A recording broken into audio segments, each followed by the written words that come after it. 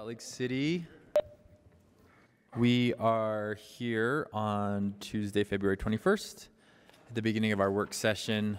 Um, welcome to today's City Council meeting. We continue to post hybrid meetings to keep everyone healthy and safe. Our meetings are public, and you are welcome to join us in person or by watching from the Council's agenda page, Facebook, YouTube, or SLC TV. We hope you'll continue to join us in whichever manner you feel most comfortable. comfortable.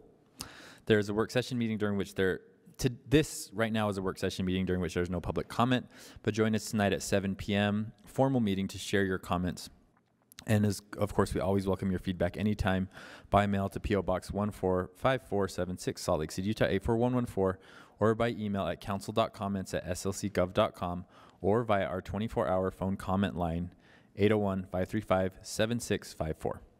Written comments we receive on agenda related topics are shared with council members and posted to our website, slccouncil.com. Uh, and just a note about tonight's formal meeting, we are still planning to have that hybrid, but encourage anyone who doesn't feel safe with the snow to tune in virtually. We'll make sure that the virtual option is um, robust as possible. That's true, right? Okay. Um, okay. So the first item on our agenda is informational updates from the administration. We have, I think, Lindsay, or that's the only person I see at your table. Oh, Ashley and Andrew Johnston. And as they're getting started, hi, Ashley. I love your shirt. As as they're getting ready, just uh, there are going to be a couple things that move around in order today based on things that have come up. Go ahead, Ashley.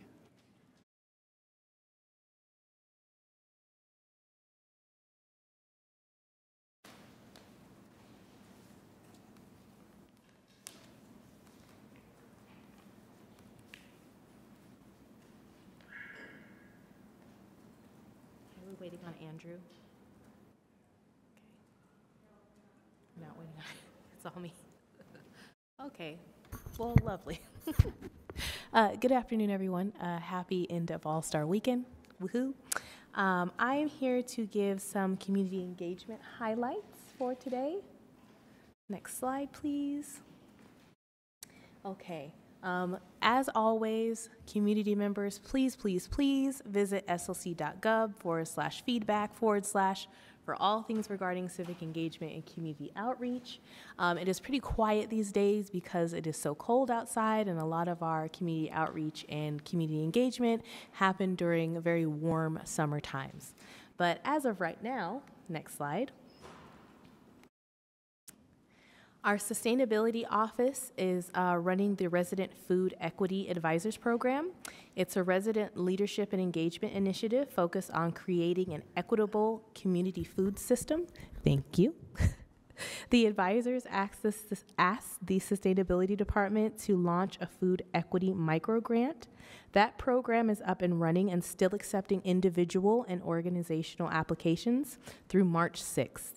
Indiv- individuals can apply for grants of $250 to support home food productions, and organizations can apply for up to $5,000. There is an informational workshop at Day Riverside Library, February 23rd, in two days, from 6 p.m. to 7:30 p.m. It is kid friendly uh, to provide an overview and answer questions. We appreciate help um, sharing the grant, so please let your neighbors know about it. Please get it out into your newsletters and visit slc.gov forward slash sustainability forward slash food equity grant for more information.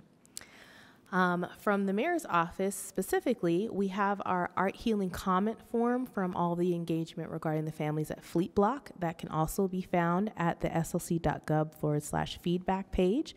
And it's pretty much just to let the community know how the engagement went over the past um, nine months or so, remind them that the sign is up, and to see if they have any opinions just based on the whole art healing segment. Um, over the next couple of months, um, we'll also be hosting Indigenous and Native American working groups to take some of those policies that we brought to you last week forward. We'll be looking at land acknowledgments and things of that nature. If anyone would like more information on what we're doing um, in regards to Indigenous and Native American relationships, um, citywide, uh, please visit the uh, slc.gov forward slash mayor webpage and look at the community outreach page. Um, this Thursday, the 24th, our office will also be hosting Proclamation Plus. Uh, Proclamation Plus is, uh, you know, an effort to hopefully get more of our constituents and community leaders engaged in what the city is doing and making sure those relationships are um, cyclical, I guess you could say. We host something called the um, Community Council quarterly meeting every couple of months. So we are doing the same thing for underrepresented communities when they have a holiday or proclamation by hosting a larger community wide meeting afterwards. Um, this next one will be um, at Calvary Baptist Church on Thursday, the 23rd from 9 to 12. And then lastly, um, our community office hours are still going strong. Um, I'm excited to see that we have more people coming to find them as um, they're becoming more of an expectation in the community. Um, we have one, uh, we have a couple today actually at Roots Coffee and the Patagonia outlet. And then we also have two more on the 23rd. Um, if anyone wants to be updated on our community office hours going forward, we also have a plug on Instagram going. We have a little chart there every month. And then you can also, of course, visit slc.gov forward slash mayor and look at our community outreach page. And that's all I have. Thank you, Ashley. Looks like Andrew Johnston, Director of Homelessness Policy and Outreach, is next.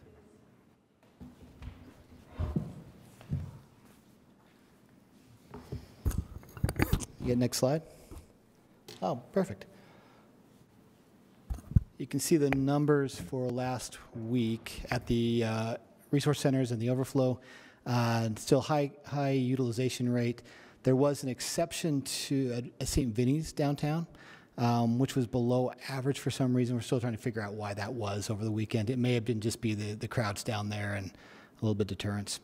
Um, but the good news with this, I'll, I'll, say again, is that the coordinated entry process and the coordination between the facilities and the transportation is working well to get people where they need to be every night. Um, so uh, we'll make sure that we're aware of that.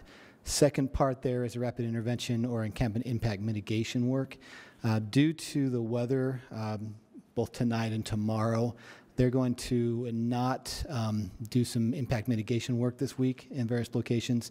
Probably follow up next week as soon as possible once the weather sort of settles down. Um, you can see the rapid intervention team locations have increased since last week, uh, more outreach to more locations. And then the next resource fair is in uh, several weeks from now. Next slide. This is something that you saw last week in a different format. Uh, I apologize, I was remote last week and it didn't uh, look as good as it should have. Uh, I wanted to make sure that you saw this again in a different way. This is the Miami model or sequential intercept. What you'll see here are uh, essentially six different intercept levels in the community, and this is a national um, concept that's been around for quite a while. In the blue, you'll see that we actually, in this county, have a lot of programs that fit different levels here, already existing. And so from the intercept zero down to five, you'll see intercept zero are things that can be voluntarily accessed by anybody in the community in a real preventative way um, including right now the VOA detox, which you're aware of, but the crisis phone line, the mobile um, crisis outreach teams, the receiving center, which is being built right now. Anybody can go there anytime when they're in need especially when we get the expanded receiving center. If you go to Intercept 1, that's more when law enforcement gets involved. And we talk a lot about that here because um, as a provider of law enforcement services, the city has some responsibility here. And you, as a council and the mayor and the city over time, has done a number of things like the social workers and the Community Connection Center, um, trying to make sure that all officers are CIT trained, crisis intervention trained, and then certified as well, and increasing the number of folks that are certified. These are things that are probably within the city's um, purview in a lot of ways. Now, if you go to Intercept 2, you'll see that that's where you'll get more of the initial detention stuff. When an officer intervenes in a situation and they need to take them to the jail, for instance, for some reason, there's also an opportunity there to divert out of the criminal justice system into other services. And that could be treatment services in the jail, but also community response teams, pretrial services, which handles a lot of releases from jail early on. We saw in Miami they do actually assessments immediately upon entry into jail, and if they're um, in need of mental health treatment, particularly, divert them out of the jail immediately to another facility. Right. Um, if you see number three, that's where you have specialty courts, case coordination coordinators in those courts, drug court, mental health court, veterans court, all those kind of things. And as we have a justice court in the city, this is also a place where the city could have some um, some say and do some work in this this realm. Now, if you look at intercept four, and you'll see that's when reentry back out because everybody that goes into the county jail comes back out again sooner or later, right? And we got to have ways to think through what's that exit look like? Where do they go? How do we follow up with people who are on long term probation and parole or just have the same needs they had when they went in? Homelessness, experiencing homelessness, experiencing chronic mental illness or substance use issues, uh, physical health issues, whatever it is. And the Intercept 5 is that longer term work. Um, that's a lot of county work, particularly um, treatment providers, but also it's specialized housing. And this council's taken some steps to try and help fund um, housing that would fit some models like this, right? Uh, I think Denver Street in Salt Lake City is a good example of that in the last few years. Um, works with the ACT team. It's very specific housing that's permanent supportive housing by definition, but is geared towards a, a population that would otherwise probably cycle in and out of treatment and or jail and those kind of things. So you can see there's a lot of work been done the last 10 years by the county in a lot of levels and the city working with them. What we're looking to do is make this broader to scale it to the scale we need in this county now, and to add um, places where we have gaps. There may be gaps between these levels of intercept. There may be gaps within each of these where we don't have as many resources in certain areas. And so this is the work of that group now coming together to work on this model. Um, another update on that group is that the uh, County Justice Advisory Council, CJAC, is going to be taking the lead on this work. That's a good sign for us. Um, Mayor Mendenhall has been recently appointed to their board, or will be appointed to their board. Um, having them take the lead is a good starting point to make sure there's still progress going forward and we're not going alone. We've talked about that multiple times before. Um, the other thing about this to remember is that sometimes when we get um, in the community talking about some of the issues we're seeing on our streets with people who are um, clearly experiencing mental illness symptoms, crises, substance use, whatever it is. And oftentimes we're, we're struggling about do we leave them, do we get them into jail or just into treatment, right? And, and this is a good example of how we have to have a lot of levels and a lot of ways to catch people all through this system. Um, so as simple as we want to make it and as simple as we need it to be for the public, we also know behind the scenes there's a lot that goes into this, which is why we're taking so much time working on this. And we can talk more about this as we go into the year, but I wanted to start again, and uh, repetition helps us to remember stuff, obviously, and get more detail. Um, but I wanted to put that in front of you again in a clearer way this week. I have one more update, if unless you have some questions about this. I think there is one question, Councilmember Petro. Do you know yet if the intention is to just um, increase the capacity of the services that already exist, or are we going to also diversify services available within each of these intercepts potentially? Probably both, if I had to guess at this point, Council Member. Um, we have some good services that are clearly not big enough and broad enough, but we also know there are some gaps, um, things that we've seen elsewhere that could probably work here, or things that we could expand here in a slightly different way. Um, I'll look at, um, I'll say Intercept 1 with uh, the Unified um, Police Department Mental Health Unit and our City social workers. We know there's not enough of those, right? Um, but we also know that Unified may be looking differently in times to come. And if we have a lot of individual police departments to work with, you know how big this becomes. Another example might be that uh, Miami had up front a very clear memorandum of understanding with hospitals to provide certain psychiatric um, services within seven days of seeing them. That's something that we probably don't have here in that same way yet, and we may want to improve that or increase that or add that at all. Yeah. Councilmember Dugan. Thank you, Andrew. And that, I love that explanation of working all through these intercepts and the tie-in from Salt Lake City, what we have been developing over the number of years, and the Miami project. And we realize that we've we've done a lot of work. They just had a more robust program than we have here now.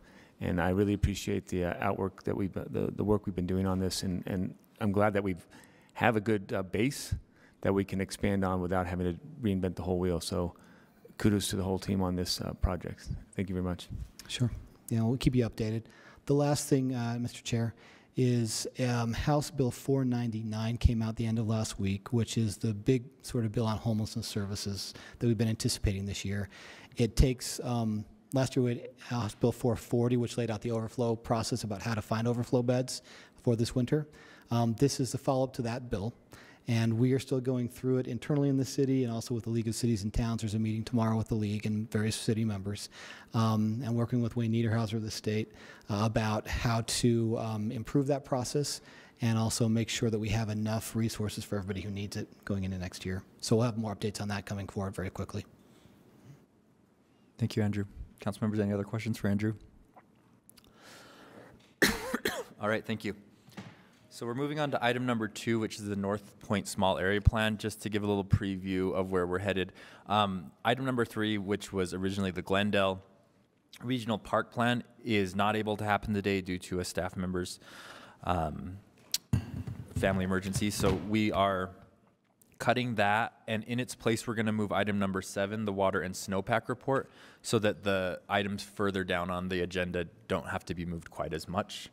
Hopefully, that will only require one set of people to come and move rather than everybody. So, um, so that's where we'll we'll head after this. But go ahead. Um, the at the ta- oh sorry at the table we have Nick Tarbet, Council Policy Analyst, Krissy Gilmore, Senior Planner. Looks like Kelsey Lindquist is available, and then Nick Norris, Planning Director, is at the table as well. Nick, do you want to start with a Sure. introduction? I'll give a real high-level introduction so Kelsey has all the fun details to share. The North Point Small Area Plan is the, is a land use plan for the area located between the Salt Lake City International Airport, the northern boundary of the city, along, and along the 2200 West Corridor. This is a council-initiated petition. Uh, In 2020, the council allocated $100,000 to update this small area plan for this area of the city. With that, I'll let Krissy take over. Great, thank you. Well, good afternoon. Um, we can go to the next slide, but Nick just covered the project location, and I, um, but I did want to throw it on the screen for context because I know there's a lot of people tuning in that are interested. Um, so this is in the northwest corner of the city, bound by the Great Salt Lake. To the west, the airport, and then we have I-215 and the Jordan River. Um, the last time that we met with you was in September. It was the- end of September. We gave a briefing. That was right before the Planning Commission public hearing in October. Um, since that time, a few changes have been made to the plan that I will try to touch on as we go through the presentation and um, bring you up to speed on those. So, next slide. And then for context, just as far as the current zoning goes, um, a good portion of the area is zoned business park, that is the blue BP. And then the area that's in Salt Lake County is zoned um, AG2, agriculture t- 2, or 5 actually, I think that, or 2. And then we have Salt Lake City property that is also AG2. At the very bottom of the project area on that little um, finger is um, light manufacturing, which is M1. And then this other map on the screen you can see is the existing future land use map from the current North Point Small Area Plan that shows um, pretty much everything west of 2200 West as Business Park. And then you'll see this area on the east side as um, AG2 or AG5. All right, next slide. And then next one. So goals of the plan. Um, this has really turned into highlights of the plan. These were the goals that the council directed staff to consider as the RFP was initiated. And these include things like we wanted the plan to recognize the intense development pressure that the area is under and also be re- realistic about that development pressure. Um, the plan was also directed to identify appropriate land use future land use categories and development characteristics that could coexist with conflicting land uses, such as the existing agricultural and residential properties, and also um, already approved and planned light manufacturing properties.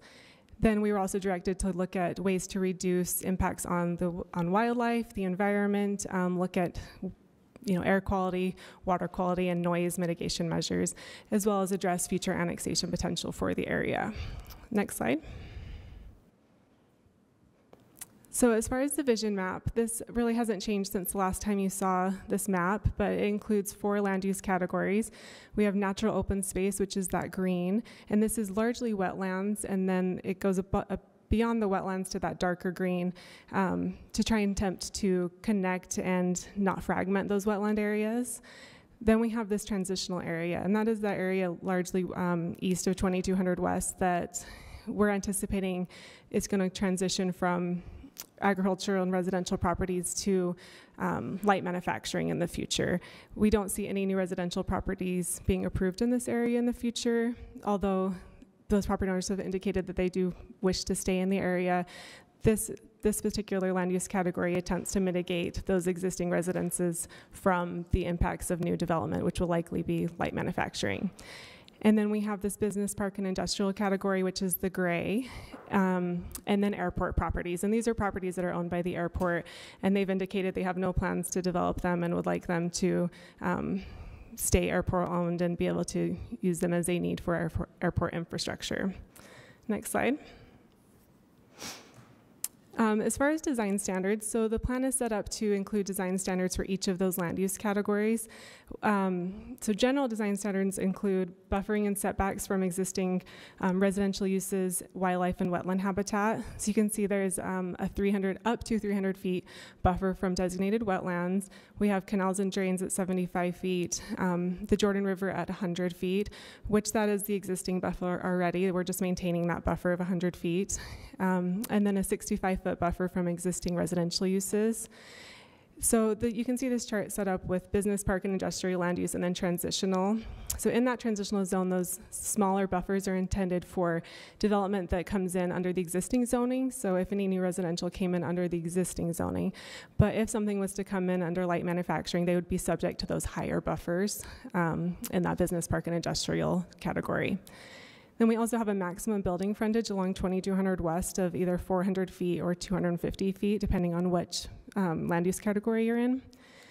Um, then the the land use categories go from things like standards for new development. These include grading limitations, um, standards for fencing and walls, dark sky lighting. There's also visual design standards.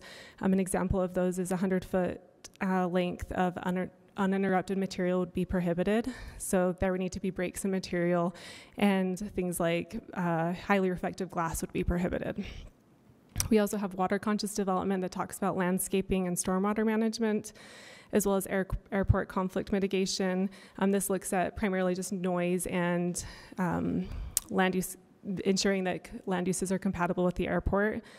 And then the transitional area has extra standards on top of that, which focus mostly on noise, um, odor and air quality, um, traffic and loading standards. And this is intended to really um, mitigate those impacts from on existing residential and agricultural properties. And then we also have standards for natural open space category, and these are largely things like planting, um, water, uh, trails and boardwalks, and then um, stormwater policies like making sure that water flowing into the Great Salt Lake is not obstructed. I think that's that on this slide. So, next slide. And then implementation. So, we have three critical implementation path items. These were identified to be the most important ones to um, really and get the vision of the plan as soon as possible. So the first one is looking at 2900 West and 2200 West redevelopment construction and looking at funding tools to um, to ensure that those roads are um, up to the vision of the plan and up to the standards identified. The next one is evaluate the feasibility of acquiring city-owned um, open space sorry, typo on that. Um, th this identifies land by the Jordan River and then wetlands adjacent to 3200 West and open land adjacent to 3200 West as priority areas for that um, acquisition. And the plan also has a toolkit that I'll talk about that gives various strategies for this action item, like purchase of development rights, um, among other things. And then we have uh, development code updates. So these updates include just general development code updates. This would be things like looking at landscaping and prohibiting turf grass, um, looking at minimum lot areas in the M1 and BP zones to encourage clustering of development out of open space, and then also amending our lowland conservancy overlay zone to include that buffer for canals and drains then the plan, this is the probably the biggest change from the last time you saw the plan is that the plan now recommends a North Point specific development code. And this really came about when we met with the Planning Commission. We realized that we had a list of changes that probably weren't appropriate citywide in the M1 zone, and they really were specific to the North Point area, and the North Point area was deserving of that specific code. So this would include um, looking at ways to conserve. One of the biggest parts of this code would be looking at incentive-based tools to preserve open, open space. So that maximum building, front, building frontage along 2200 West, we could perhaps reduce that frontage um, in exchange for a greater open space preservation and um, looking at other tools like clustering. And then I think that is it for those three critical items. So we can go to the next slide. And then we have another list of other action items. These include require a local air utility plan. So right now, utility developers are required to provide a utility plan, but it's um, a smaller scope. This would really broaden the scope of that plan to look at more than just their specific property, but what would be needed as far as utilities go if the areas around them also develop, and they would be required to um, update the, the sewer and water capacity to to service the anticipated growth of the area. Um, develop environmental impact standards, um, implement those wetland buffers. So another change from the last time you saw the plan was that the first draft of the plan just had a wetland buffer of 200 feet. That was up um, based on planning, planning commission direction to 300 feet.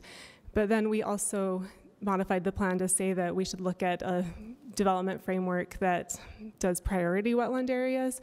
So we could if a wetland doesn't have, um, a wetland is very high priority, like it has habitat, like nesting birds, um, just um, different types of things, that would be a high priority wetland, and we would look at you know a scale, and the higher priority wetlands would get that 300 foot buffer, and then potentially they could have a reduced buffer if um, it's determined that it's not as high a priority.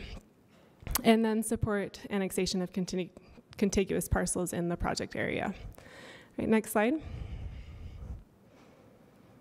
And then the third, probably these are the last, last major change from the last time you saw the plan, is that we now include amend the major streets plan in the draft. Um, so there's three primarily primary primary roads that have been changed in this draft. So the first is 2900 West, which is a new north-south collector. Um, you probably are familiar with this road from the is it Legacy Business Park? Is that the name of it? Leg- Legacy Business Park subdivision. Um, so that's the one that just goes north to south down through the project area. Then 3200 West was was um, changed from so right now it's listed as a collector street on the major streets plan. We've downgraded that to a local street and also highlighted that it should remain unimproved, which means unpaved and a dirt road and then the airport road connecting to 2100 North. So I included this image on the map that shows, you can kind of see that the future airport plan shows that the runway is going to be extended beyond 2100 North. So that road needs to be realigned to go around that um, extension of the airport.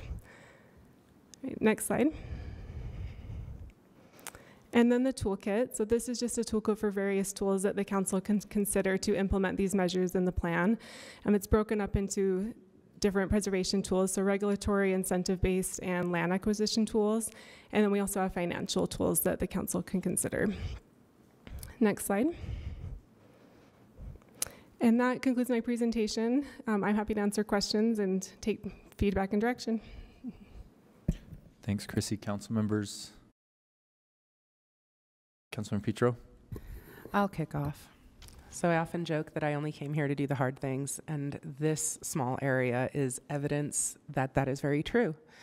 Um, this is an area that possibly is suffering the worst from what happened during COVID. It was primed before COVID and then suffered from the inability to adapt quickly and kind of got sidebarred a little bit. And now we're behind the eight ball while development is happening out here there are some of my constituents sitting here who have passionately, assertively, and kindly communicated with me the urgencies on these topics. And the truth is, um, you know, for me, I care about environment, but people are the reason that I'm here. And we are infringing on people.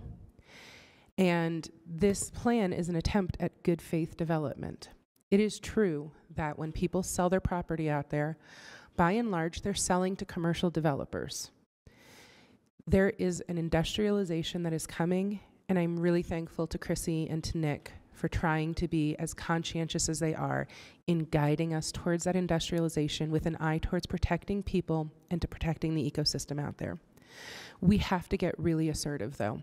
Right now, there already, before I even got here, was an approved a million square foot warehouse that's going to be put in out there.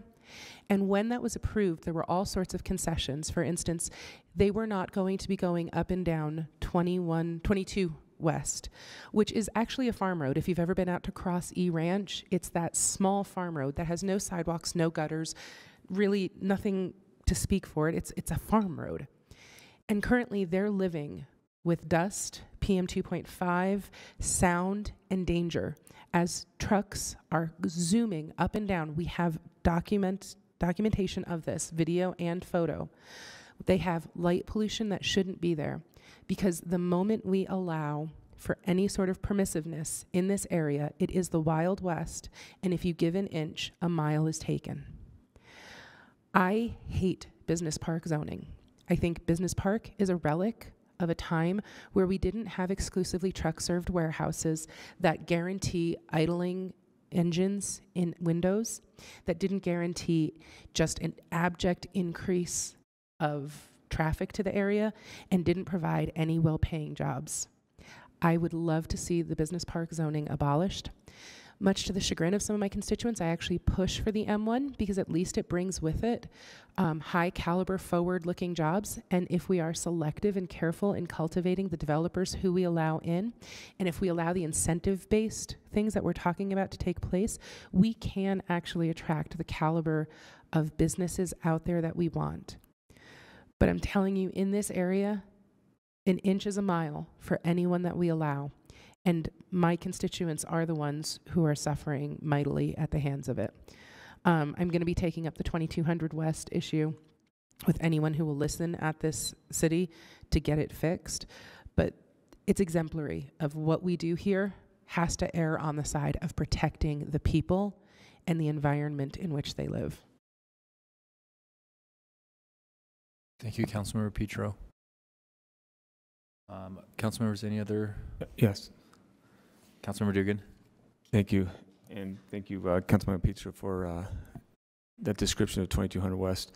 And uh, this is a great start to a, a plan, but I have a lot of concerns. And uh, starting with the just the wording, uh, we have some really uh, nice words in here, but when they say it is encouraged, it's uh, should be. Uh, it should be flexible.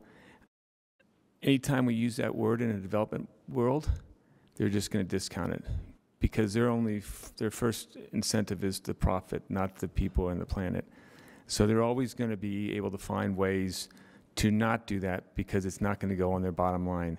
And I've been saying this for years that we got to turn that dynamic around and start taking care of the people and the planet first. And revenue will uh, will will gain from that it won't be subtracted. It'll gain if we take care of those people on the planet first. So, on the same vein of 2200 West, I'm worried about 3200 West and 2900 West. On the 3200 West, you know, reading through the dynamics here, it says 3200 is going to stay unpaid, right, undeveloped. Uh, but then there's one page 34 of the uh, implementation plan that says uh, it is anticipated 3200 West will remain unimproved. And that word, un, uh, it is anticipated, means it can, it's going to be paved to me, to the developer, because he's, he's got the opening there. And, and it should, and it should be, uh, development should be prohibited from facing 3200 West, should be. That again is open game for them to want to develop over there. And when I look at the maps and I look at the buffer zones and everything else, I really think anything west of 2900 should be undeveloped. I know there's the, the there's a Rudy Canal there, 75 feet on either side of the canal. I'm assuming that is also the right way. It's not 75 feet total, it's 75 feet on both sides of the high water mark. Uh, we need to look at that. So there's a lot of words in here that I'm uh, concerned with that give a, a developer an opening, and we can't close the door after it's opened. Um, I like the you know, the incentive-based uh, financial stuff is again nice, but only if they're going to make a lot of money out of it. And so the, the it needs to be a little bit more stronger there. I think the idea of uh, land swap, that's that's the Dugan term, but it's probably there's a more technical term there. Uh, transfer development rights. Uh, I think that we should be exploring that from someone in the northwest to areas that are already being developed with a lot of uh, infrastructure already developed for them to, to use that area and it might uh, behoove the city and it might behoove the area to also do that. So um, there's a number of other things here about the building facade. Again, hey, we'll let you have a bigger bu- building facade if you give us a little land over here. Well, that huge long building facade doesn't really, you know, that, that again benefits them. Defining uh, limited distribution land, uh, distribution land, and what that is. Every warehouse and every factory is a distribution because goods come in and goods have to leave, and so we need to really be clear on that definition also, and try to, um, again, scale it back because this is our last area that we can really affect positive change because it has such an impact with the heartbeat of the Great Salt Lake, of water going in and out, and uh, the ecological concerns. So that's my pitch in a short. Thank you for all the work. I appreciate it, Krissy. Okay. Councilmember Wharton?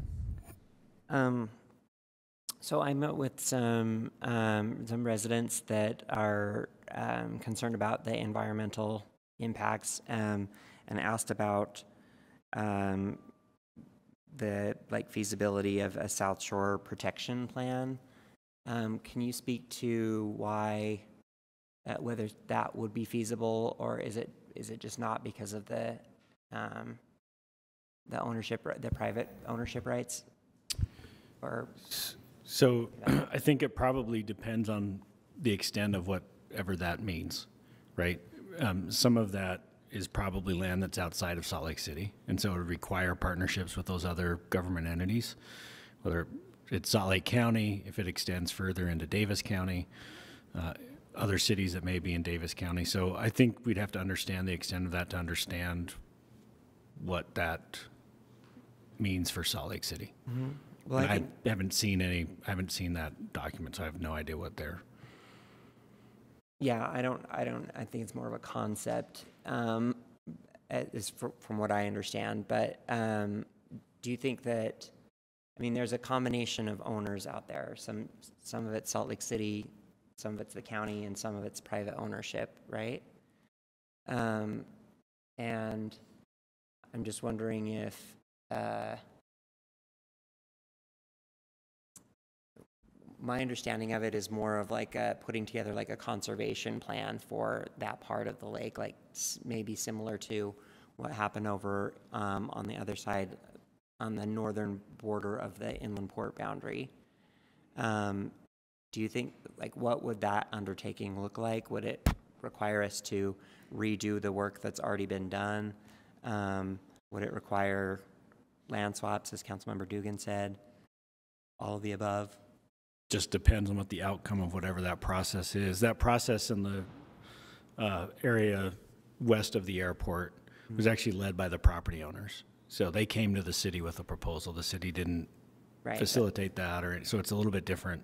That's my recollection as well. Um, So I think it, again, it, it just really depends. I think the other reality is that we have a significant piece of land that's already been entitled under current zoning that didn't require any sort of other change. And so it's hard for us to come in at this point. In fact, it's probably illegal for us to come in and change that entitlement um, that they're developing under. And so that's, that makes that part challenging. And that gets to some of the 2900 West, the 3200 West, what happens between those streets. Um, so again, it's, it's just really hard to say what that might, uh, some sort of a conservation plan that entails more than just this area means. Yeah. No, I, I appreciate that. I, I think that answers the question. Um, I also wanted, uh, had a question about just um, air quality. Um, that I know that previously we've discussed a lot of safety concerns about residences in this area because of the noise from the airport. Is there any um, concern about um, um, the air quality not or being too poor for people to safely work in this area um, as w- in addition to the noise pollution concerns like is that a concern at all Well, air pollution from the airport is definitely a concern, and one of the reasons why we don't allow residential uses at, on both ends of the runway and So, for well- some distance. So Yeah. that, that is a reality. Um, I don't think that it's ever been, to my knowledge, been studied what that impact is in Salt Lake City okay to, and our airport. But other airports have been studied where there's pro- where there's close proximity of residential, um, and I believe for employees too, and it, it has shown higher exposures to those. Okay, so, well, let me just, like, put it to you the same way that it was put to me, is why is it safe to have people working there if it's not safe to have people living there from a air quality perspective? I can explain why it's different for noise, but I don't have the answer right now about why it, about air quality. So if you can speak to that, that would help me answer that question. I think it comes more from a, um,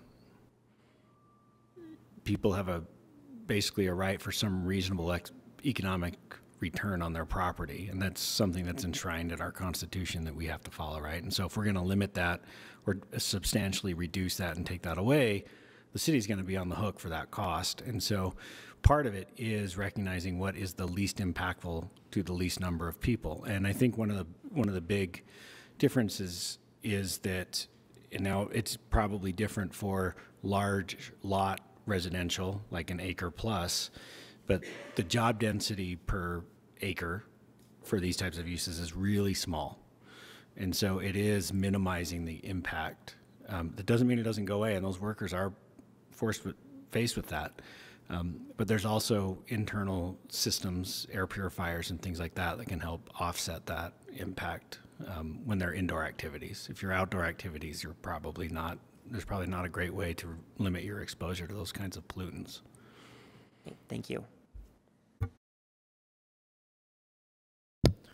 Councilmember Puy? No, so I thank you, uh, Mr. Chair. I I've been learning a lot about this and talking a lot with uh, Councilmember Petro about this issue and. And um, while I still don't understand the decades of, you know, the history behind this, which seems to be a lot of history behind this uh, part of the part of town, um, and maybe some promises um, that you know happened in the past that you know that some there are some questions about what those promises were. Um, what I understand so far is obviously there is um, a, a, lot of private owners uh, of land that they want to develop, and a lot of uh, you know houses, uh, individual owners that are selling to those more commercial uh, commercial looking uh, forces.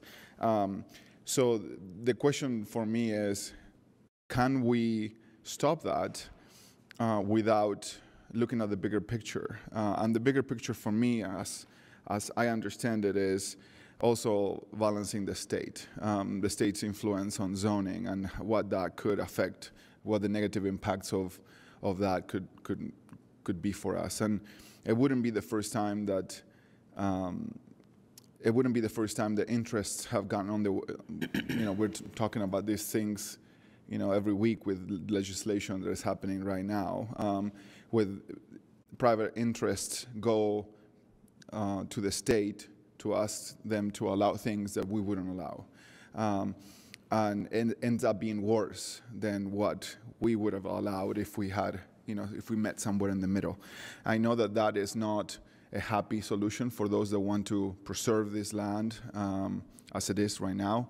Um, but I am trying to balance all of these things, and they are very real.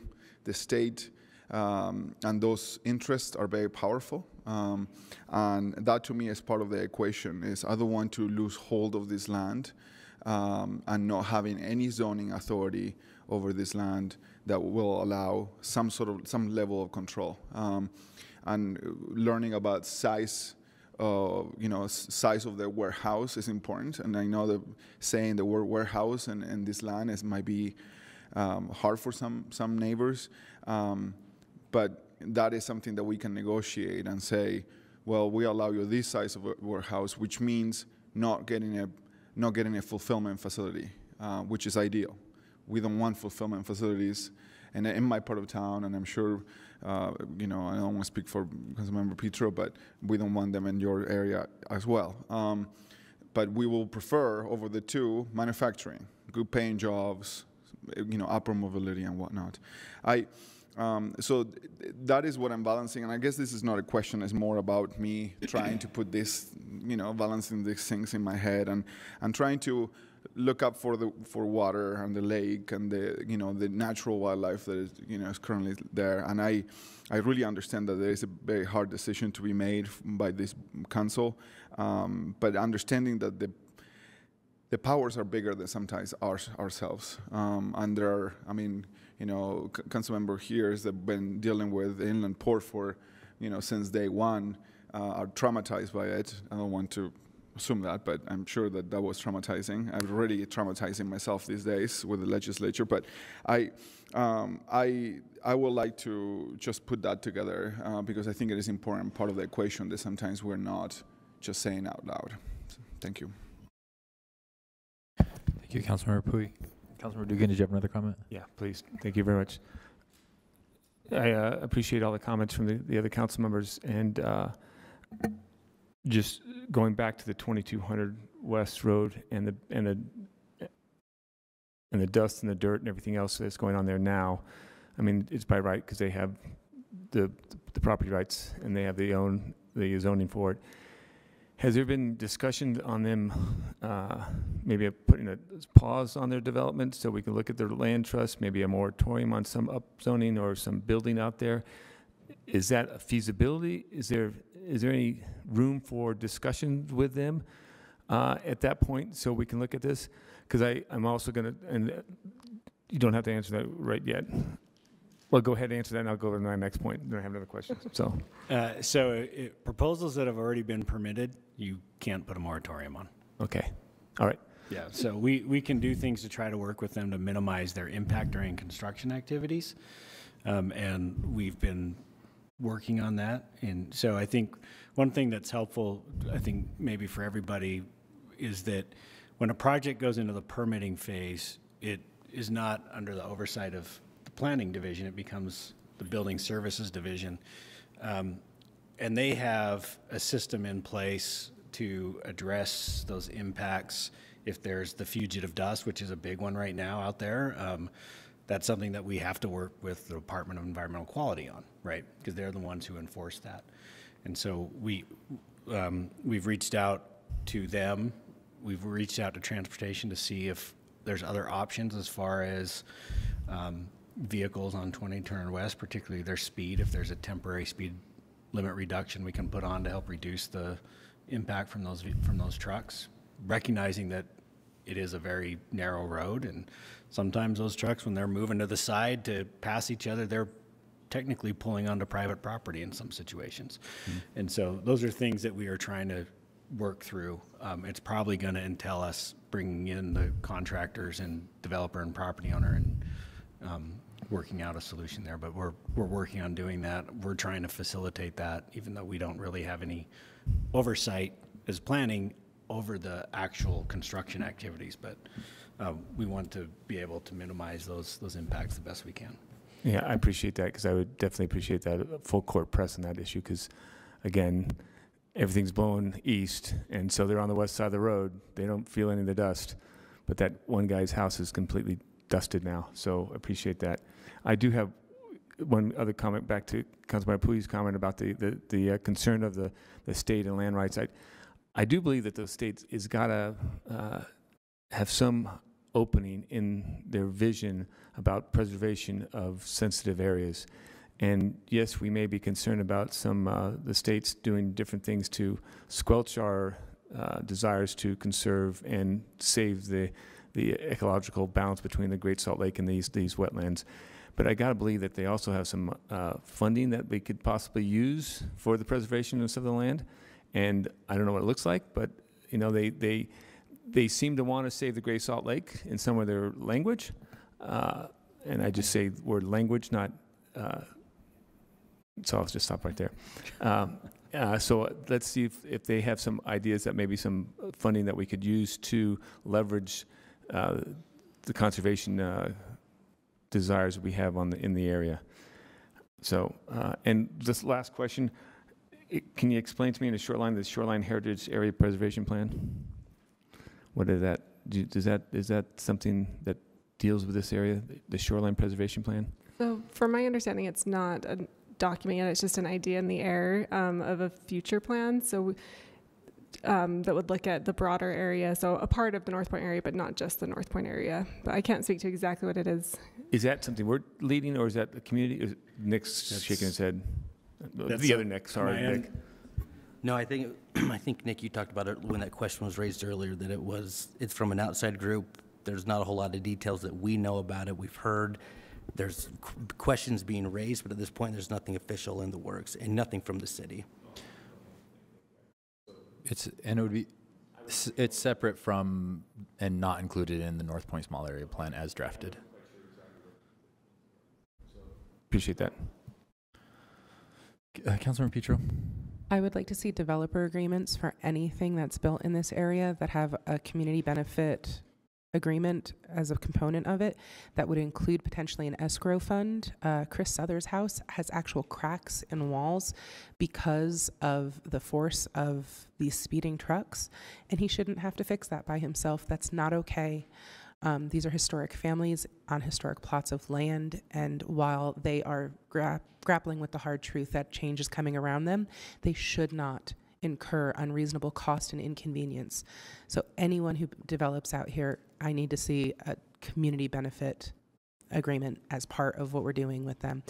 Um, and we need to protect these homeowners as much as possible.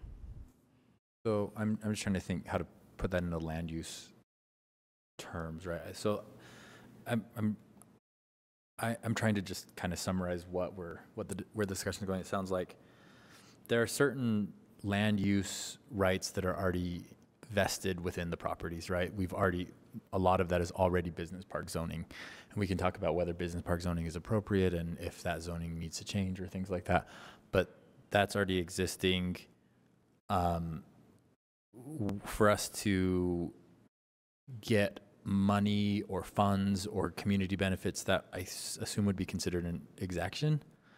And so we'd need to, that would need to be tied to, not the, I'm just trying to figure out what that means, like what all, what all these ideas mean. How do we balance these things? It seems like some sort of impact fee that would go to neighbors, but th- that's not legal, right? Like impact fees don't go to Yeah, private have- people. It, it wouldn't, for something that's already entitled, you know, we couldn't apply something retroactively, and we, we could look into what that might mean This for feels like a future Tammy. zoning changes.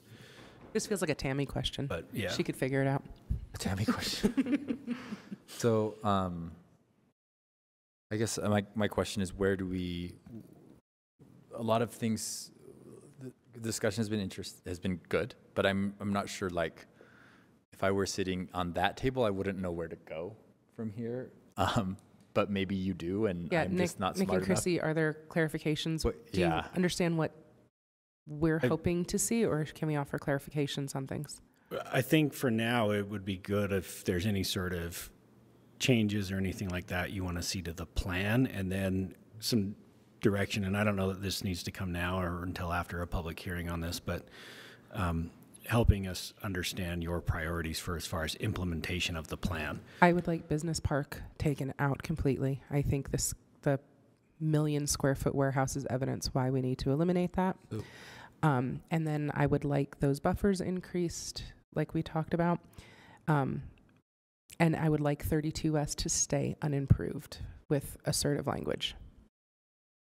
So, I have a question, just maybe zooming out. This is a master plan, so this is not a zoning ordinance, right? So this is setting the stage for how both public funds and future ordinances. They would- overlap so tightly, though, because of the industrialization. Right, that's but I think when we're talking about things like this must happen or this shall happen, I, I'm not, does, does that have a place in a master plan? Well, it, it could. It How depends does that on work? You know, the, under, under state code, uh, general plan and any component of the general plan is a guiding document, the effect, I think this might be the exact words, the effect of which are established by ordinance. So depending on how we want to utilize this specific small area plan is really up to the council. And so if there are things that we want to be more um, strict in terms of language, then we can certainly add those um, we could also, until we can update a code, we can add something that, um, I mean, obviously, we're not proactively going to be rezoning in this area. That's going to be up to those property owners to do that. Me- Um, But that, that would be something that the council could um, establish as part of the, the plan. But maybe I ask, um, I'll ask a more specific question. With 3200 West, the plan says that it should stay un- unimproved. If the language is not yet adequate to solve Councilmember Petro's concerns, is there stronger language that we could put in there, and how would that look different than what is already So in there? So I'll jump in if that's okay. So one thing on the transportation or on the major streets plan, you know, we originally had a category that was unimproved, you know, unpaved. Um, the transportation division had us change that to local street because they don't have a category for that. Their categories on the major streets plan are, you know, arterial collector, local street. Um, but I think with your direction, we can make that stronger and, you know, add that category. In. Yeah, and one of the things to think about too is that before, even though it's technically already an established ro- public road, um, we we can. There, there's a provision in state code that says public roads, facilities, buildings, et cetera, essentially have to conform to the um, general plan. So before we allocate funds in the future, if some future city council decided or administration decided maybe we need to pave this to address some reason, I don't know what that may be, um, there would at least be a planning process that somebody would have to go to go through to amend the plan in order to do that. Okay. Because it's a public road, adding any gating or regulated access on there isn't possible, correct? It was a request from an interested party, so I'm just doing my Yeah, so it, it probably depends on if the property has access to other public roads. If they do, then we can limit the number of accesses and where, but if they don't, then we have to provide access. I'd be interested in knowing if we can limit traffic in any way on 3200 West. Councilmember Mano. Member Dugan. So uh, I think Councilman Petro was kind of hitting it in the discussion. There's a little bit more uh, stronger language, as I mentioned earlier. And I'll just give you the one example from page 35 of the thing, uh, of the implementation. You know, the 75-foot buffer on some wetlands. So flexibility of a wetland buffer through incentive-based tools, basically saying, hey, we, we have the incentive that we could buffer with could be reduced uh, with another incentive. And I really don't like uh, the idea of the buffers ever being reduced. And I, I almost think of that as, you know, you put a barbed wire fence up that says you can't build here. Uh, and on the map, I know it shows where the wetlands are and the buffer areas are, but it'd be nice to be clear on, on like the Rudy Canal and the other Jordan River and the other areas that are wetlands that would be, pretty much be prohibited from building on. Uh, And that's, I'm, I'm assuming that's the verbiage, but I don't like to uh, assume that it's prohibited, but it might be suggested. So I can update the vision map to show the buffers from the canals and the Jordan River. The wetlands are a little bit harder because we would need, um, you know, a consultant to go out and do those studies. So that is a little bit more flexible, and that's why there's a footnote in there that talks about needing, um, you know, those to be actually designated.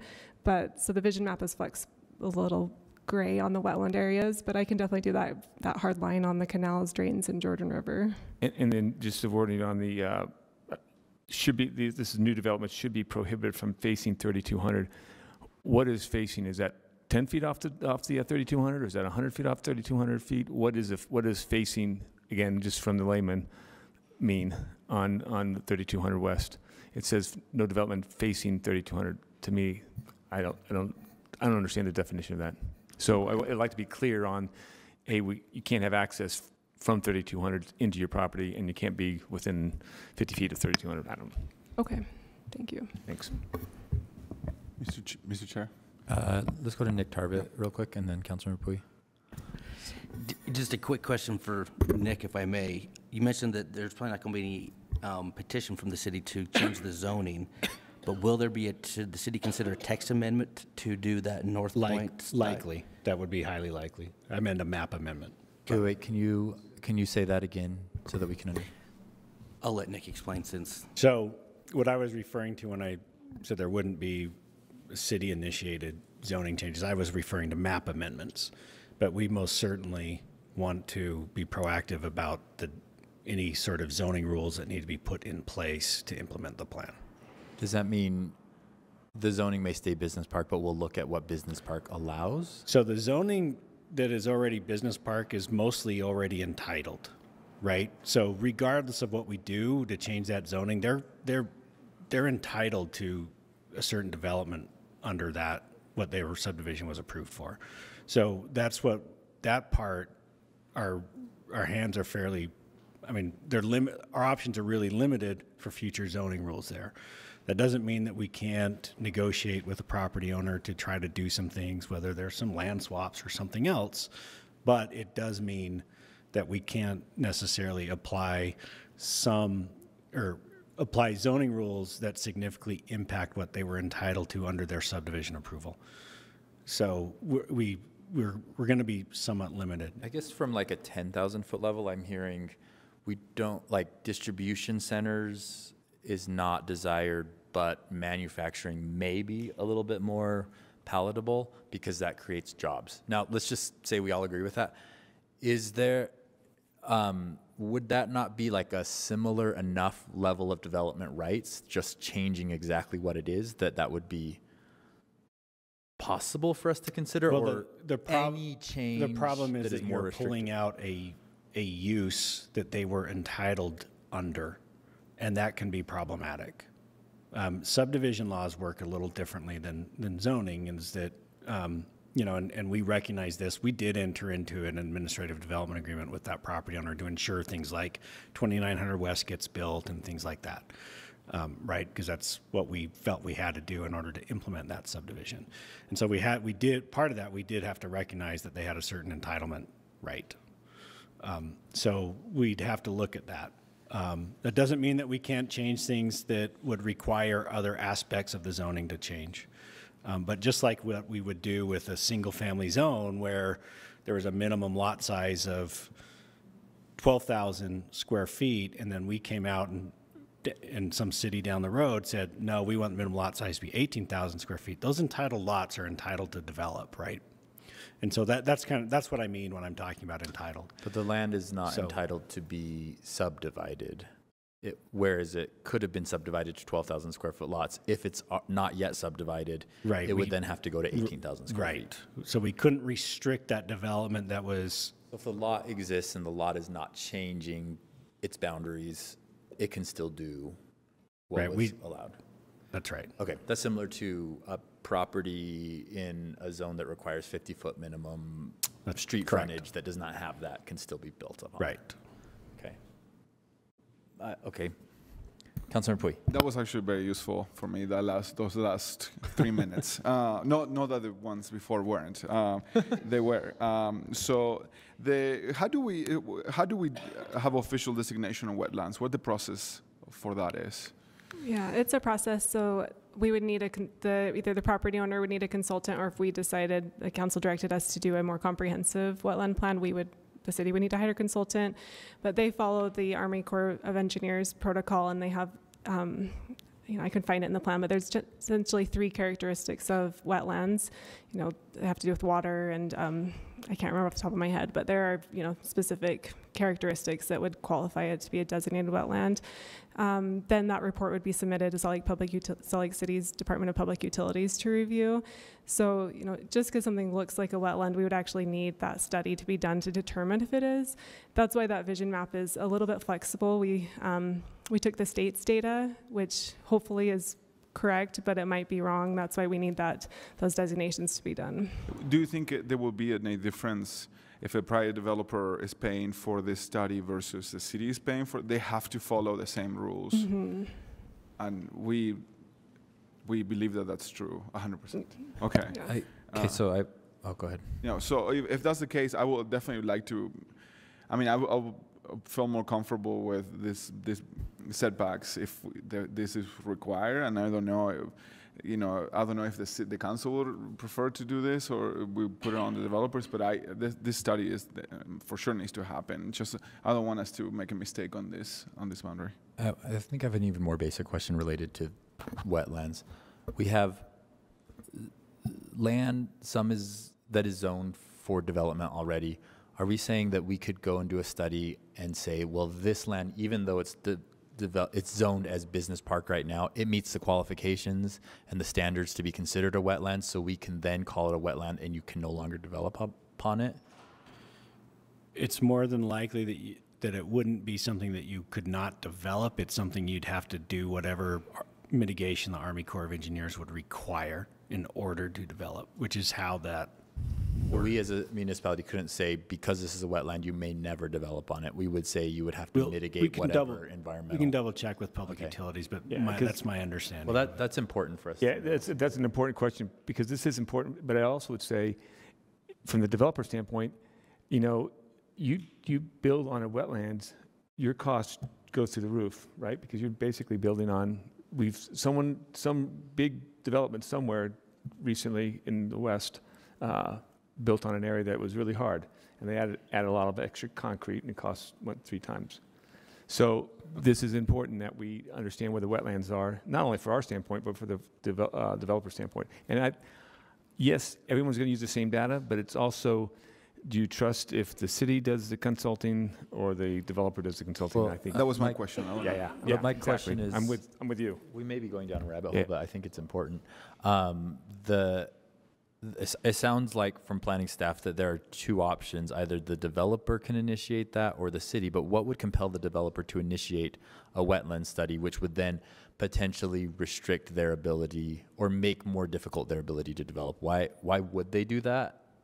And why wouldn't we just proactively have to do that if we're trying to protect natural environments?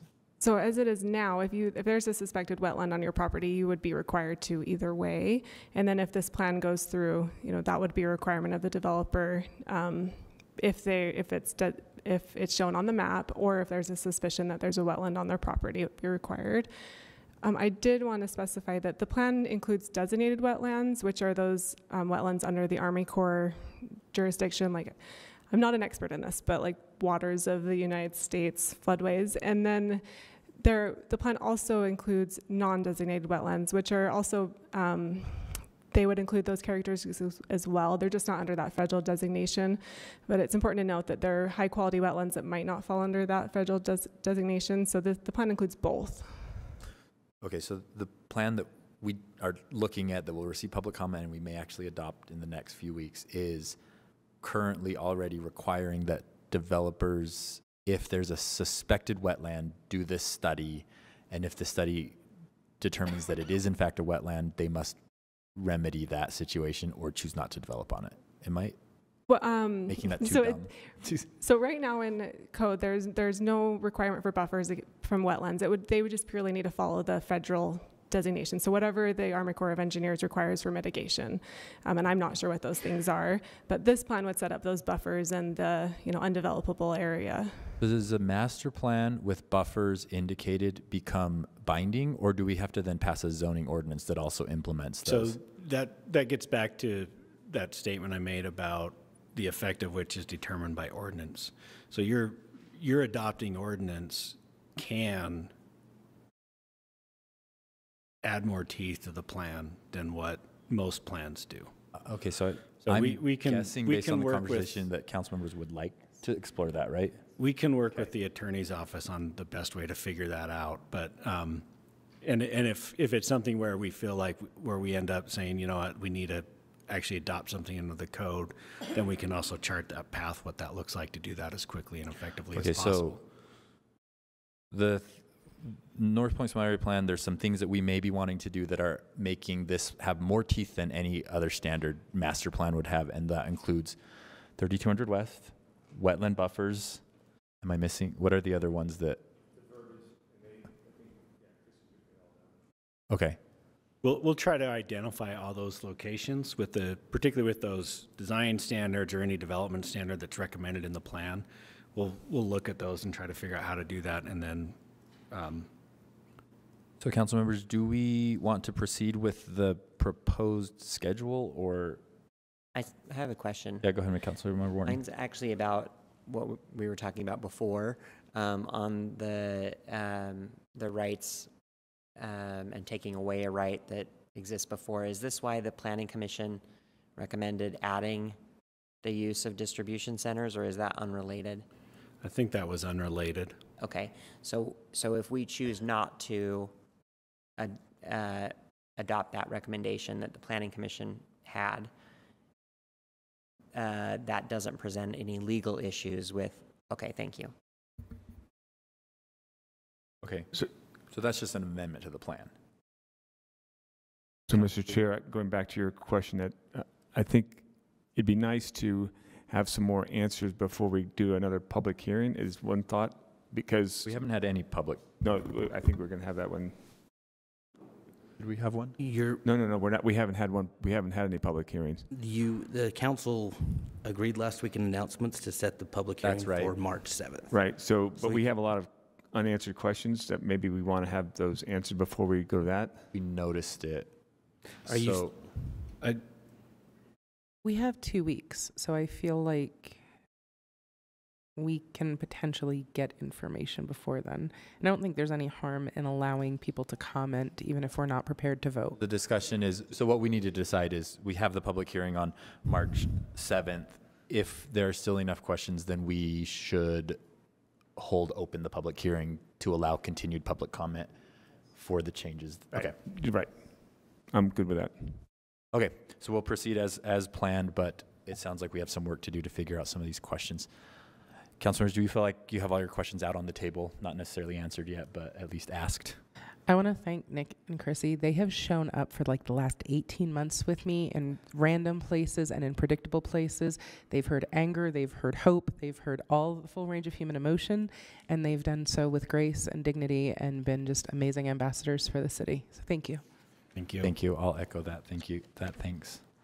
All right. That ends item number two.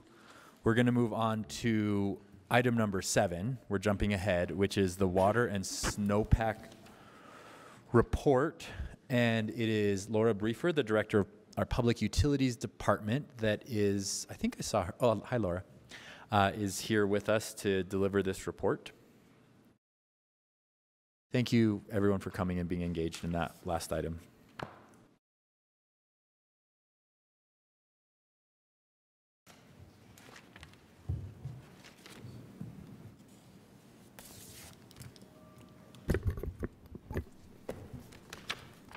Hi. All right. Hi, Laura. Hi. I see Stephanie and So I'd like to introduce a couple of members of uh, our staff that are very relevant to this conversation. Um, I think you, most of you know Stephanie Duer. She's our water conservation manager. Um, so she's our point of contact and principal planner and implementer of the city's water conservation program. And then we also have Tamara Prue, who is our water resources manager. Uh, Tamara's role is multifaceted. She is in charge of administering the city's water rights under my direction, and that's a really big job right now with the water right adjudication that we have been working on since about 2017. Um, she's also involved in managing and directing all of the hydrology elements of our system. So she has staff that have all of the measurement devices on streams and intakes and treatment plant outflows and everything else. So she's uh, she's in charge of making sure that all of that information is transparent and put together uh, it, pursuant to our state statutory obligations as well concerning our water rights. Um, so they both help uh, the department a lot in many aspects of our water resources management.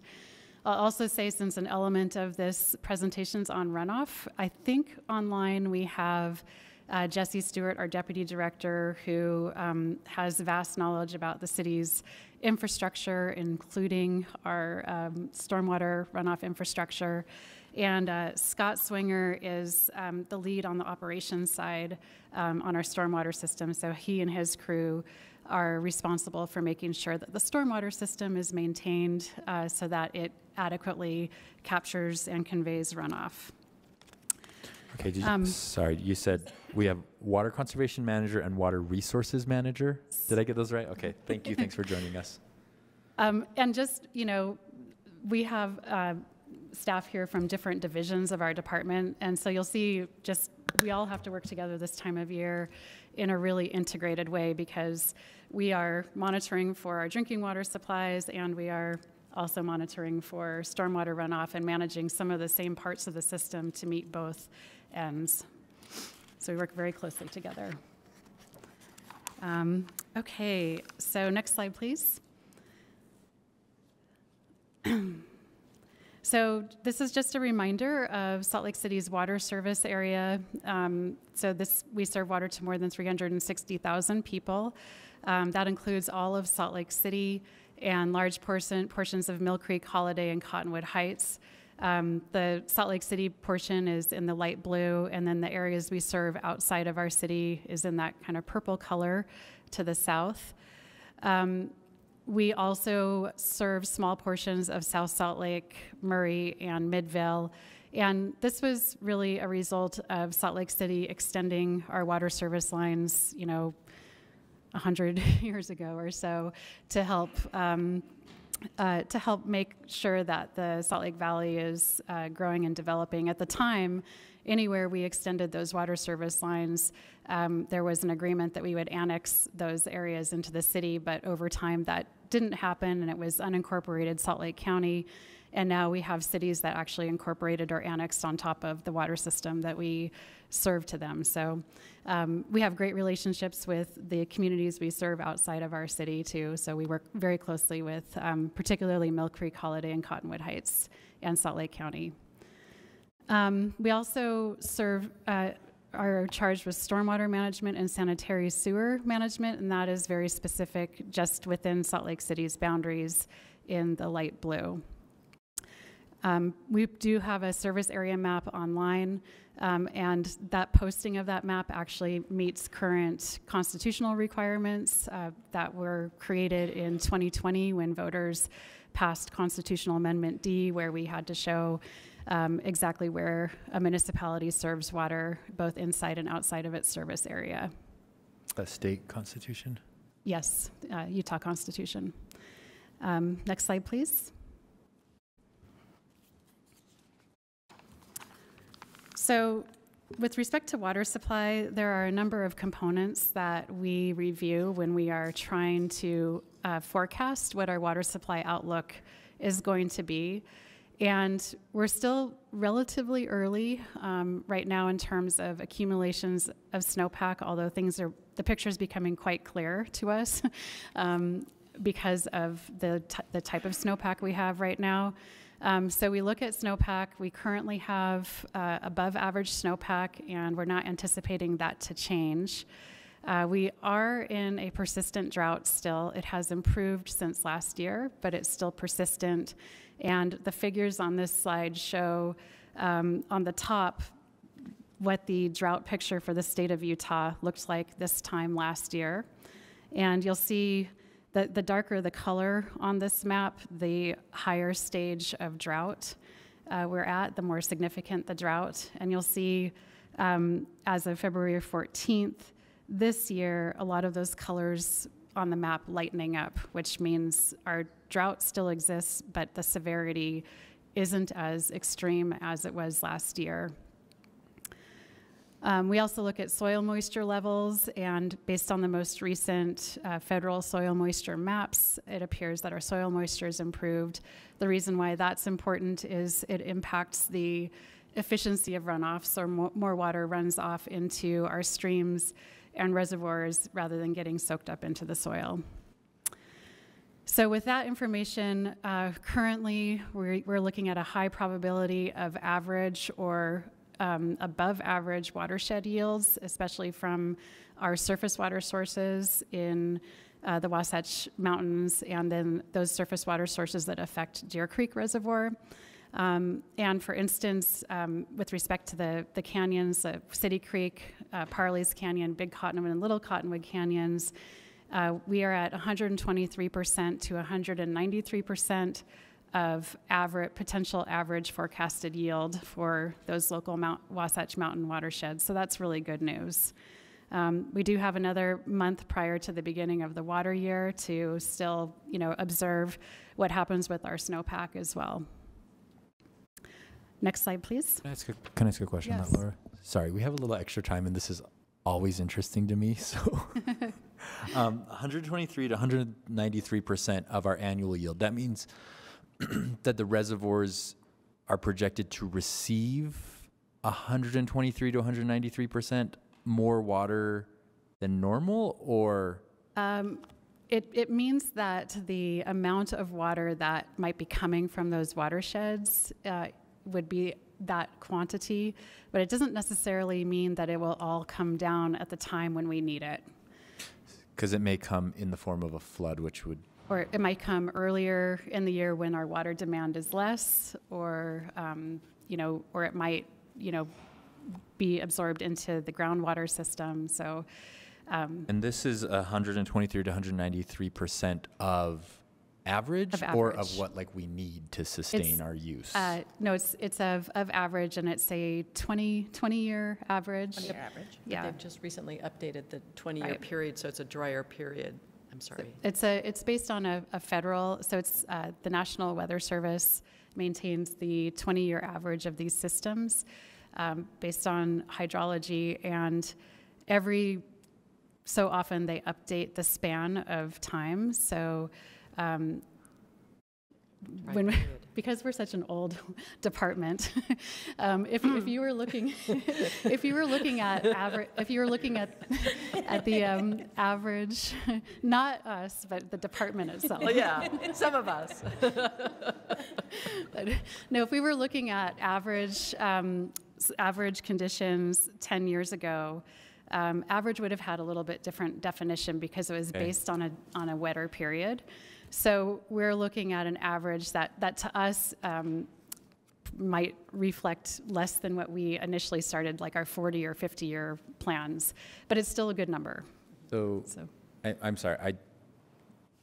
100%, if it were just baseline, 100%, does that meet our use and our projected use? If, if we were to always have a 100% year, would we still be in a drought? no, We would not, okay. It, it, it will take us multiple years to get out of a Out of the drought, drought. at 100%. That's why we're still forecasted to be in a drought this coming year. Understood. Okay, Um, yeah. So. thank you.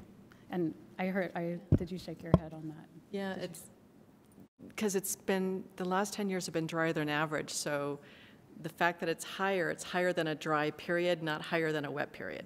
Uh, Got it? Yeah. So the last 10 years have been the driest, some of the driest and hottest uh, weather patterns on record. And so it's a, it's an average okay. compared to that 10-year dry period, not, say, the 1980s that were really wet. Okay. So we have that's to sort of adjust our thinking on that a bit, Councilmember Petro, which is Bui. weird. It's hard for us Yeah. too. And does the intensity of the heat in the summer, does that affect how far our water supply goes? Like, Does. if we adjust for all of these heat waves, we actually need to be above what 100% used to be regularly? Is that? Yeah, and and that's actually. Um, Great question. It, they are good questions, and we have um, we're in year five actually of a of climate vulnerability assessment for water and stormwater um, because of weather and climate intensification, hotter temperatures, uh, more intense drought or more intense weather, more energy in the system. Period, and um, and so heat does have warming has an impact on the availability of water from uh, from a number of with with a number of factors contributing to that, and it also has um, an impact on the demand of water too. So we have to look at both the supply and the demand side in that in that situation. Eh, Just on top of that comment, so if, the- if we have a really warm spring, th- this is great, but it's not awesome. If we have a cool spring and a l- late summer, this is great. Because the water stays in the mountains longer for us to use. Okay, Councilmember Puy? Um, I've, I have probably something that will sound very dumb for to you guys, but um, so runoff, um, a stormwater. Um, so some of the water we wanted to, we wanted to put it through the system. Uh, and by the system, this how I understand it is is rooms and big gigantic buildings that clean the water and puts it in pipes and send this to the city. I play SimCity a lot, and uh, that's how I know about all of this. Um, I'm an expert for sure, but so but there is some water that needs to go down uh, in the ground to you know keep the rivers and whatever they are under, under there like functioning too. It, so that's correct. Yes. It's correct. And the way that our water system works, it's, it's really a demand based diversion, especially with the, um, the, the local streams. So our water treatment plants just they take the quantity of water from this directly from the stream to meet the demand on the system. Um, we're also not the only water right holder on some of these stream systems, and you know, so we can't we can't divert the entirety of a stream, nor nor we want to, um, in order to meet to meet our needs. So. So my question uh, goes to perme permeable surfaces. Um, there is many cities that are going in that direction, requiring permeable surfaces for parking lots, for example um, instead of just putting unpermeable, um, you know, concrete uh, or pavements, to, to allow some of the water to go through it uh, underground instead of going to the storm system. It, uh, but that's sort of in my mind and in my SimCity knowledge of water. Uh, wouldn't that uh, conflict with the goal of sending a lot of water to the to the Jordan River and ended up in the in the Salt Lake? I don't. I used to play SimCity also, and I don't even remember that part of it. Oh, we need to play together. I will. I will show you. Oh, this is getting Um, weird. So, weird. I don't know what it is, so there you go. um, I'll explain it to you later. Good, So we, um, yes, so it's interesting in, in water management. We are meeting a whole lot of different purposes all at once, and we're constantly trying to balance them. Um, with respect to runoff, we're also trying to manage for water quality and infiltration into the system. And one of the impacts of a lot of pavement, impermeable surfaces, is that it negatively impacts water quality. And so having a chance like this low impact development, impermeable or permeable pavement is an example of that. There's some other examples too. But that's important for us to have in, in our area because the Jordan River is actually um, compromised for water quality in part because of the urban runoff. And so having areas where, we- where we can slow the water down, and that, that actually would also help with uh, flooding issues, especially in these long-term flooding events. And we're currently working on an integrated water plan to kind of tie these things together, as you mentioned. So I, I think you're like you're thinking kind of similar to, to, to where we are at, where we want to manage to optimize water, drinking water resources. At the same time, we want to make sure we're mitigating flood impacts, especially from these intense storm events. Um, at the same time that we have water quality issues we need to deal with. So there are a lot of moving parts there. I, I, and I'm looking at the cities that are doing the permeable parking requirements, and I'm very interested on that. But I obviously need to refer to you guys for expertise. And it's important to replenish our groundwater aquifers. And um, we're still trying to figure out the link between uh, groundwater, shallow groundwater, and deep groundwater to tributaries of the Great Salt Lake and Great Salt Lake itself. So, Interesting. uh, We have been asking a lot of questions. I see there's No, five more slides. I have another slide. Water's always an interesting topic. It is. Okay. Yeah, it is. And I, this slide here um, is just one of the creeks, one of the streams that we, um, that provide us water, Big Cottonwood Creek. And I just wanted to show you, I, we look at a lot of data when we're doing our forecasting. And these graphs on the bottom are from the Colorado Basin River Forecast Center. And they are, um, they, they show what the anticipated water supply from any given watershed will be. Um, and then they um, compare it to different years, historic years. So we have sort of an index of, well, this looks like 2005 or this looks like 1983. Um, and this is Big Cottonwood Creek. And on the left, we have 2022. That was, this was last year. And in 2022, the final numbers for the annual yield was about 20,700 acre feet from Big Cottonwood Creek. That was 60%, 61% of the average. And for 2023, the forecast um, at the end of the day is for about 49,000 acre feet of water from Big Cottonwood Creek, or 144% of average. So from this, you can see, you know, a, what a difference a year makes. Um, this is a really good thing for us to be seeing. Um, for Big Cottonwood Creek, I think the closest water year on there is 2011. So that, that light green line at the top of the graph shows what the yield was for Big Cottonwood Creek in 2011. And the, the, what's showing is that the forecasted yield is somewhere between average and that high period of 2011. And there's also the low, um, the low bar, the, the lowest green line on the graph is, I believe, 1934. And that was a really, really dry period that actually was a time that initiated a lot of additional water supply planning for Salt Lake City.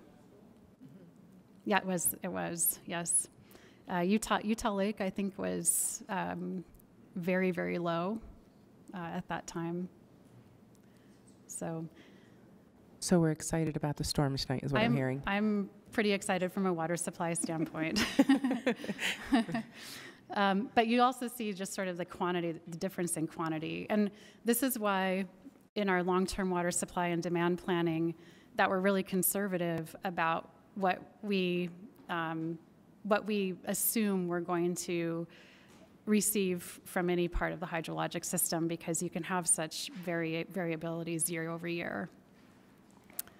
Uh, next slide, please.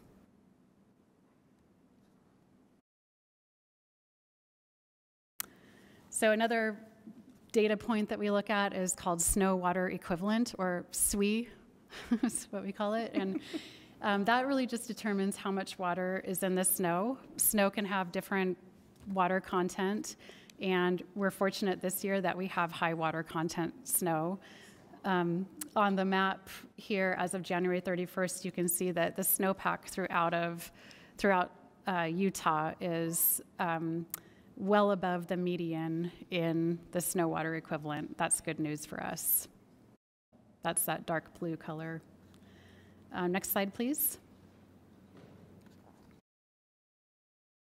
So we also look closely at precipitation and temperature um, with outlooks, and we receive these three-month seasonal outlooks from um, various federal agencies. This is from the National Weather Service. And seasonal precipitation and temperature factors are really both are important in both the water supply and the demand on the system. Um, these factors also, as we kind of talked about earlier, affect the timing and volume of runoff, um, both for drinking water and for flood control purposes. And for this year, the three month outlook through May um, projects equal chances for above or below normal precipitation and temperature. So, right now, it's not really telling us a lot. Um, if it was clearly skewed in one direction or another, that would give us more information. Um, typically, lower temperatures and higher precipitation can reduce the environmental and system water demand in the early spring, but fast warming on the system can increase high runoff and flooding potential from runoff. So that's, that's why those um, factors are important. And did you have something to add on the temperature piece? Just the, the, the idea that temperature drives demand, it more correctly drives need. Because if we look at our historical water use patterns, especially in the last several years if we've been contending with long-term drought, our communities we serve have done an exceptional job reducing their water use. So high temperatures don't necessarily equal higher demand, but they equal higher pressure on our environmental systems that might drive demand. And we've seen this in high, like hot summers, we see demand go up on the system. Um, next slide, please. Uh-oh. so um, here I wanted to talk about reservoirs.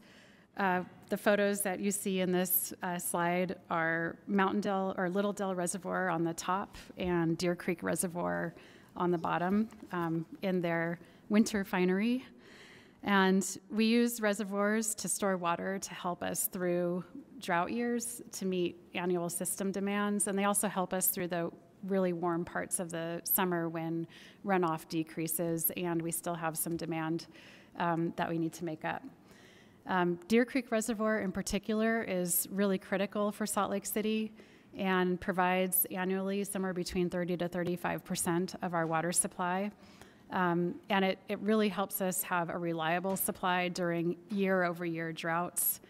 We participate in the Deer Creek Reservoir along with um, one and a half million people from Utah County and Salt Lake County um, through our membership of the Metropolitan Water District of Salt Lake and Sandy. And I know you've had um, Mike DeVries uh, talk a lot about the history of, of Metro. Um, but that, uh, that, is, that water is actually through the federal Provo River Project and the Central Utah Project. Um, one thing to note is Deer Creek Reservoir, we have a there's a project that needs to happen on that reservoir uh, to repair an intake structure that's about $100 million. There is a request for appropriation um, through the state legislature this year for $11 million of that, and we're, we're working hard to see that go through um, just to offset some of those costs because the cost, a portion, a large portion of the cost of that project gets filtered back through Metro and then to us. Um, Little Dell and Mountain Dell reservoirs in Parley Canyon are also important for water supplies, and Little Dell Reservoir, especially, is important for flood control for us as well. So that was constructed since the 1983 floods and helps take a lot of pressure off the system by capturing water in the Parley's watershed um, up high while other water goes downstream. Next slide, please. Um, water conservation. I'm, I'm sorry. is- oh. Just back to Little Dell. Is uh, is that construction completed? Mountain Dell, uh, Mountain Dell Reservoir is still under construction. Okay. The, the rehabilitation. Um, however, if we have to start impounding water in there, we'll, we will be able to do that. So. Um, water conservation is, is a really important um, component of our water resource management and supply and demand. Last year, our communities um, that we serve conserved almost 3 billion gallons of water compared to the three year rolling average. Um, it's really necessary for the long term um, in order to stretch our long term water supplies and also uh, during short term uh, water shortage situations such as uh, droughts, which we hope are short term.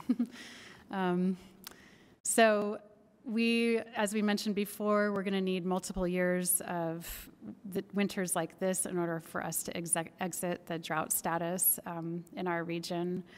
Um, and then, because of that, we'll still be asking the communities we serve to conserve water this year. We ask them to conserve water every year, but very specific to the drought and to the stages within our water shortage conserv- water shortage contingency plan. Can I ask a specific question about that? If I remember correctly, we were in stage two, and then Yeah. we moved into stage. We are in stage two. We haven't um, because because we were so successful at conservation and meeting demands. We've stayed in stage two. We haven't had to move to more progressive mandatory stages.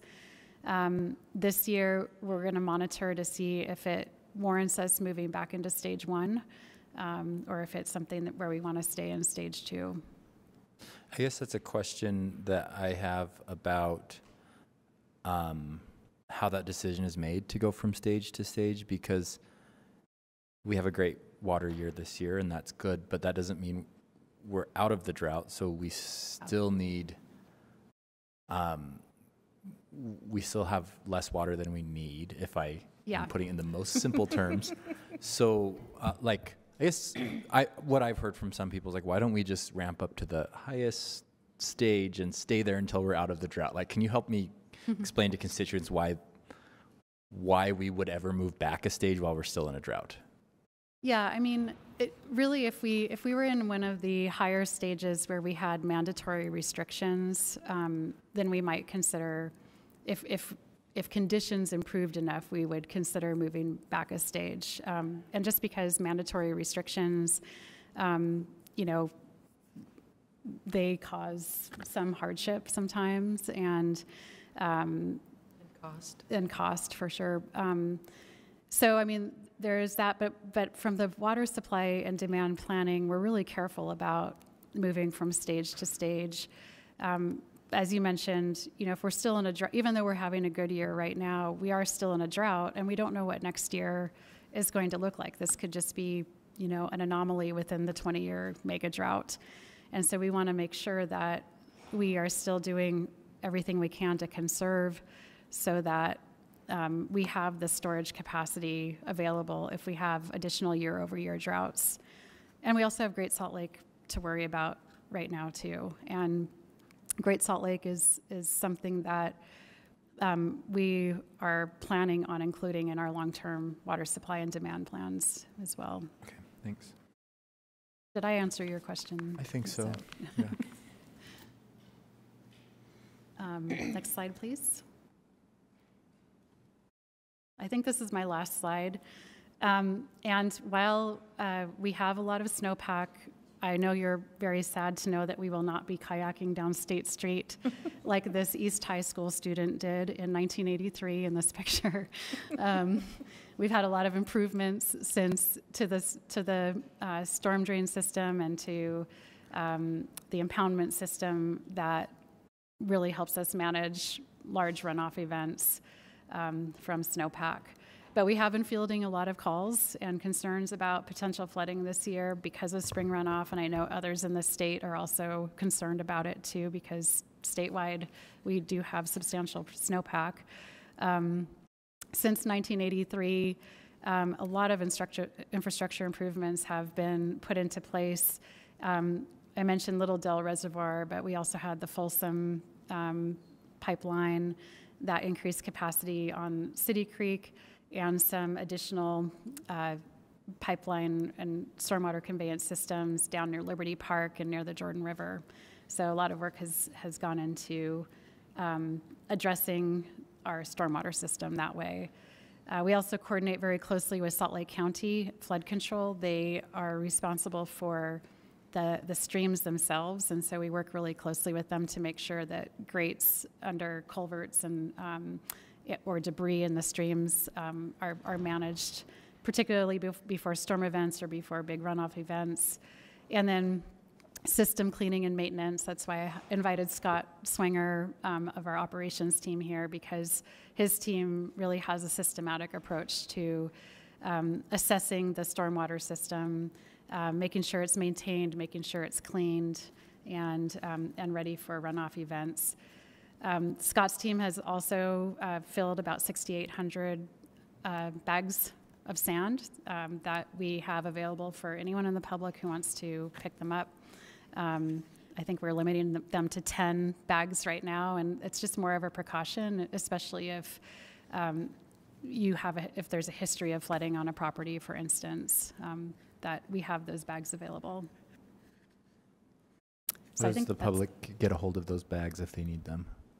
Um, so yeah, so they could just call our line or visit our website to get hold of those bags, but we have them outside on our um, West Temple campus. Okay. Yeah. Councilmember Wharton. Can we get a graphic that shows um, what the um, percentage of water users are, like residential, commercial, agriculture? Yep. Yeah, we, we have that information. We can get that to you easily. Okay, thanks. Yeah. Any other questions on this, council members? So in a really high summary, good year, but we're still in a drought, so keep saving water. Correct. Thank you so much. You. Um, we are going to jump back to item number four, which is local business assistance ARPA grant awards. I understand that, um, well, so we have at the table Ben Luedtke, council policy analyst, Uh, Lorena Riffo Jenson, is Lorena here? Um, Director of Economic Development, potentially here. Kathy Rigby and Jake Maxwell, Economic Development Project Manager and Workforce Development Manager. Um, I understand, maybe this is a question for Katie. I understand there's some council members that will need to recuse themselves from parts of discussion. What's the best way to handle that?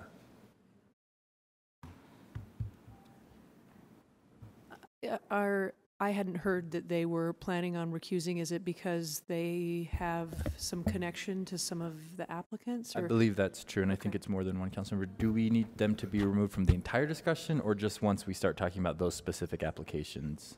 Um, uh, Oh, sorry, we're putting you on the spot. It's okay, I just don't know anything about it, so. Oh, um, I talked to Ben earlier, and I am the one that may have some conflict of interest with some of the awardees, um, the, out of the 31 that have been awarded or have been recommended to be awarded. Um, I might have to recuse myself for about four of them, um, if I have my count right. But only if we discuss those specifically, like if we discuss those four businesses specifically, then I will recuse myself. But I think out of the policy about how we distribute ARPA funding, I think I'm eligible to have that conversation, but not necessarily, but not discuss directly about, not discuss those four businesses specifically. Does that make sense? So we're talking about a grant and how we distribute the funds and how they decided and the, the scoring, all the stuff, and I can discuss that. But if, I don't think I can discuss, well, John, you know, which I have a relationship with, I want to talk about John's application, like, no. Does that Does that make Uh, sense? th- Thank you for that clarification, I appreciate it. Uh, To the extent you are talking broadly about the terms of the grants, that's fine. If you do get into details about specific applicants, I do think you'll need to recuse yourself, because if you're taking from one applicant to give to another, then that entire conversation probably requires recusal. So e- Thanks. even if we're talking about an applicant for whom Councilmember Valdemoros does not have a, a conflict, or Uh, with whom, Yeah, I, I'm, I, and again, this is the first I'm hearing it, so Okay. I'm, I'm doing the best I can. But I, I think that w- my concern would be if the council member is recused just for one applicant, but that affects yeah. how much another applicant would get, then it's sort of the entire conversation. But I'm, I'm willing to, to be creative about that as well. Okay, thanks. And so, council members, let's keep our questions and discussion very high level, and then if we decide we need to get into specific applications, we can let Councilmember Valdemoros know. I believe Councilmember Petro, who is gone for another commitment anyway right now, but has also a uh, conflict that she mentioned. So um, let's make sure we're talking high level until we need to change that, and then we'll let council members know first. Okay. All right, I, uh, Ben, do you want to go ahead and start with an introduction? Yes. And uh, a note, uh, whichever applications are moving forward with funding, uh, I'll double check with council members to make sure that on the motion sheet, we'll have separate votes uh, to make sure that you're recused on the final, the final vote. Uh, Council members may remember last April, uh, you approved a $2 million appropriation for one-time money from ARPA for local business assistance grants uh, to be managed by the Economic Development Department. These are direct beneficiary grants, so the funding would go to support the operating costs of the business, so things like rent, payroll, supplies. The council also, the same night last April, enacted an ordinance to create a committee to review the applications and recommend funding to you and the mayor. Uh, the council has final decision-making authority on the amount of the awards and to which recipients. There were 157 applications received, and of those, 31 are recommended to receive grant awards. The total rewards are a little over $755,000. This is less than the full eligible amount that the 31 businesses applied for. If you wanted to award the full eligible amount, it would be an additional $125,000. Uh, there are two attachments. Uh, we have hard copies. Um, we have extras on the table uh, if you need them, but they were also placed at your desks. Attachment one is the funding log showing the 31 recommended recipients. And attachment three shows uh, a summary list of all 157 applications. Uh, the column in attachment three, that's second from the right, it's listed as average scores. It's out of 100. Higher scores are better. Economic development plans a second phase to accept more applications. So if one of the applicants in phase one is not recommended for funding, they could reapply for funding in phase two. A couple reminders, the maximum possible award is $100,000. That was set in ordinance. There is no minimum award, but the council could establish one. The council has established minimum awards for other grant programs, such as HUD grants. And the funds must be spent by the recipients by the end of calendar year 2024. That deadline is also set in city ordinance. Uh, there is a separate $2 million also from ARPA for pass through nonprofit assistance. That process is being managed by the Community and Neighborhoods Department, and it will come to the council later. I'll turn the time over to Lorena and her team. They have a presentation for you. Well, good afternoon. Um, I appreciate you having patience with me as we try to run upstairs with Jake. Um, we're looking forward to actually present this information to all of you. Um, I would also like to say that it, it has been a difficult and yet very rewarding experience for us to work, to have worked with um, Ken and their team, uh, Jack Markman and Tony Miller and Heather Royal. Um, I think this has been a really good experience for us to see how we can work together um, in terms of different departments. Also, we have worked very closely together with our, our finance department. Uh, Mary Beth and her team have been very supportive and guiding us to ensure that we're following federal guidelines um, and we're ensuring that we're doing things correctly. And the same thing with the attorney's office. Uh, thank you, Katie, and again, the support of um, Sarah Montoya and her guidance. Um, having said that, I think one of the things I wanted to share with you, we have um, Kathy Rigby sitting here at the table. She's our ARPA um, grants uh, program manager, and we have uh, Jake Maxwell, who also, besides being a team uh, member of economic development, he actually is the chair of the community uh, um, recovery committee, who has been serving. They have been serving diligently. Um, they have been committed these are individuals who actually serve on other boards in the city, and now they're serving in this capacity. I've watched their meetings and their deliverance, and I have to say, I am wow by the level of thoroughness and commitment that they have with our, with our small business community as they have reviewed this grant. And with that, I'm going to turn the time for Kathy to walk you through the program, and then Jake. Thank you. Good afternoon, council members. Thank you for this opportunity to tell you about our ARPA Community Grant Program. Um, so the Department, next slide, please. So the Department of Economic Development is coming before you today uh, with a two-part request. First, we are asking that you approve the Community Recovery Committee's recommended list of 31 applicants to receive funding this is our Phase 1, Group 1 list of applicants.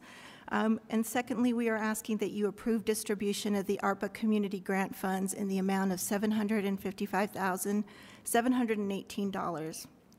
Um, as Ben mentioned, you received transmittal materials which include a list of these 31 applicants. Uh, that also includes a brief description of the businesses um, and their funding request. Next slide, please.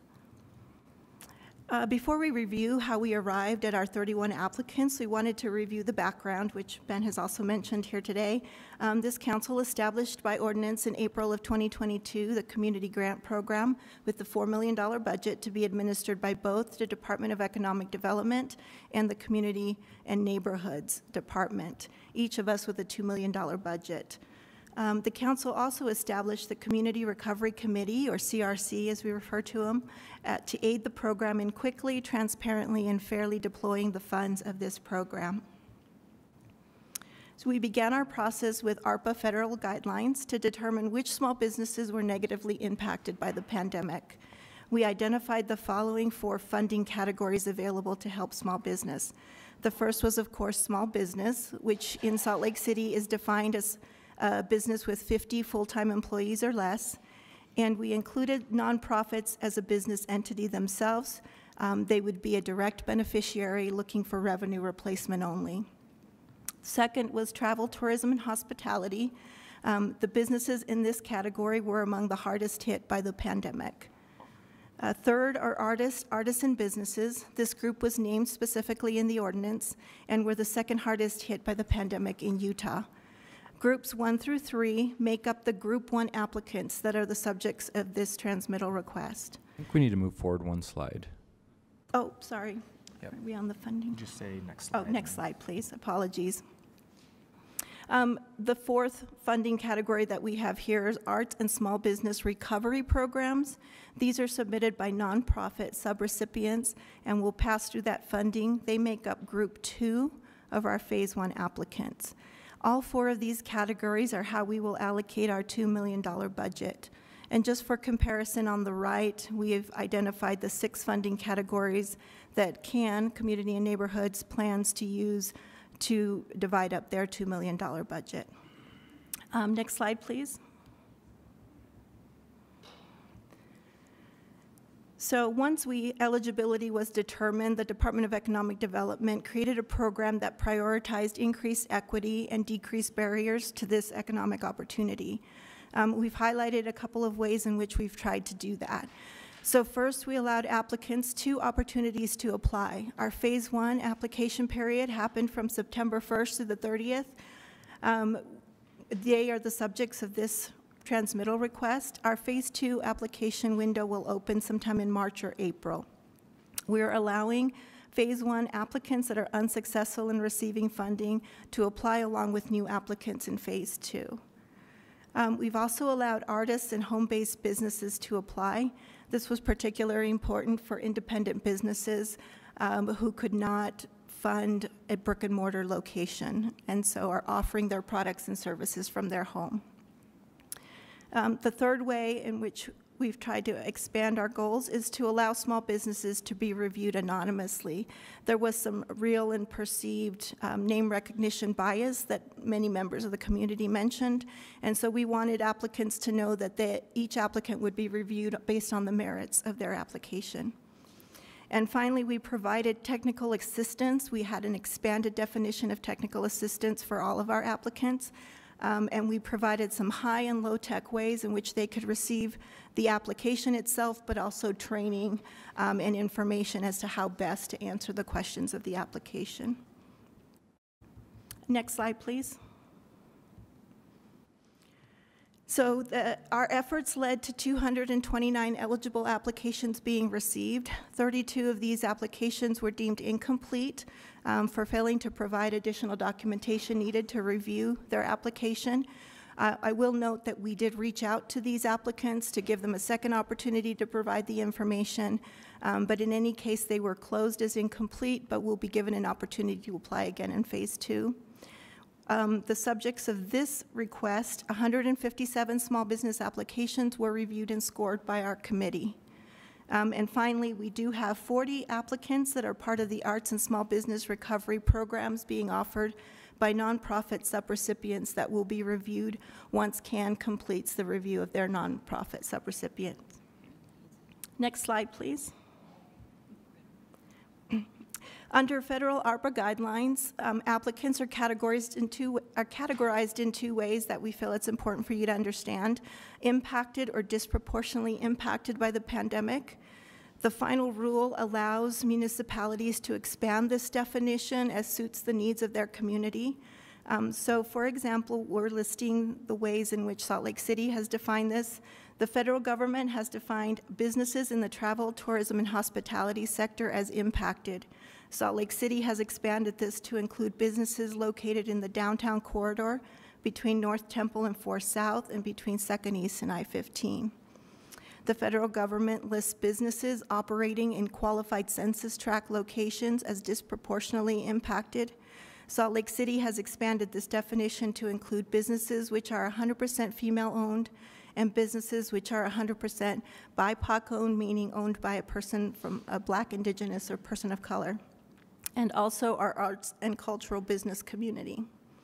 Um, an understanding of this language will help to inform you as you review the eligible uses of the funding that's allowed by the program. Next slide, please. So this leads us to some important demographics we wanted to share with you. 45 of our applicants were 100% female-owned businesses. 51 of our applicants are 100% owned by a member of the BIPOC community. So out of 229 eligible applicants, 42% are disproportionately impacted. Um, next slide, please. We also wanted you to see that there is an equitable distribution between the four funding categories that we mentioned earlier. So 61 of the applicants came from an artist business, 55 applicants were listed as small businesses, 77 applicants came from the travel, tourism, and hospitality sector, and as we mentioned before, we have yet to review 40 applicants from the nonprofit community, which will be our group two, which is the second half of our phase one application. I'll turn the time over to my colleague Jake for the next two slides. Thank you. It's good to be here to represent the Community Recovery Committee. Um, I'll introduce you to the board so you kind of understand the mix and the makeup. Um, we had two members of the Racial Equity and Policing Commission, Tanya Hawkins and Steve Angewarden have myself, Jake Maxwell from the Economic, Develop, Economic Development Loan Fund Board. Um, we have two from the Human Rights Commission, Jason Wessel and Esther Next Stoll. slide, please. Oh, sorry. We're good. Thanks, Ben. Um, and we have one from our Salt Lake City Arts Council Board, Sarah Longoria, and Poot Carson from our Business Advisory Board. Next slide, please. So over the course of 10 review meetings, each two hours in length, uh, the board used the time to cover some key agenda items. The first is to review and discuss our submitted applications, um, our application scoring and the scoring experience. Uh, we also requested clarification about applications and process, and we discussed ways to improve fairness and equity.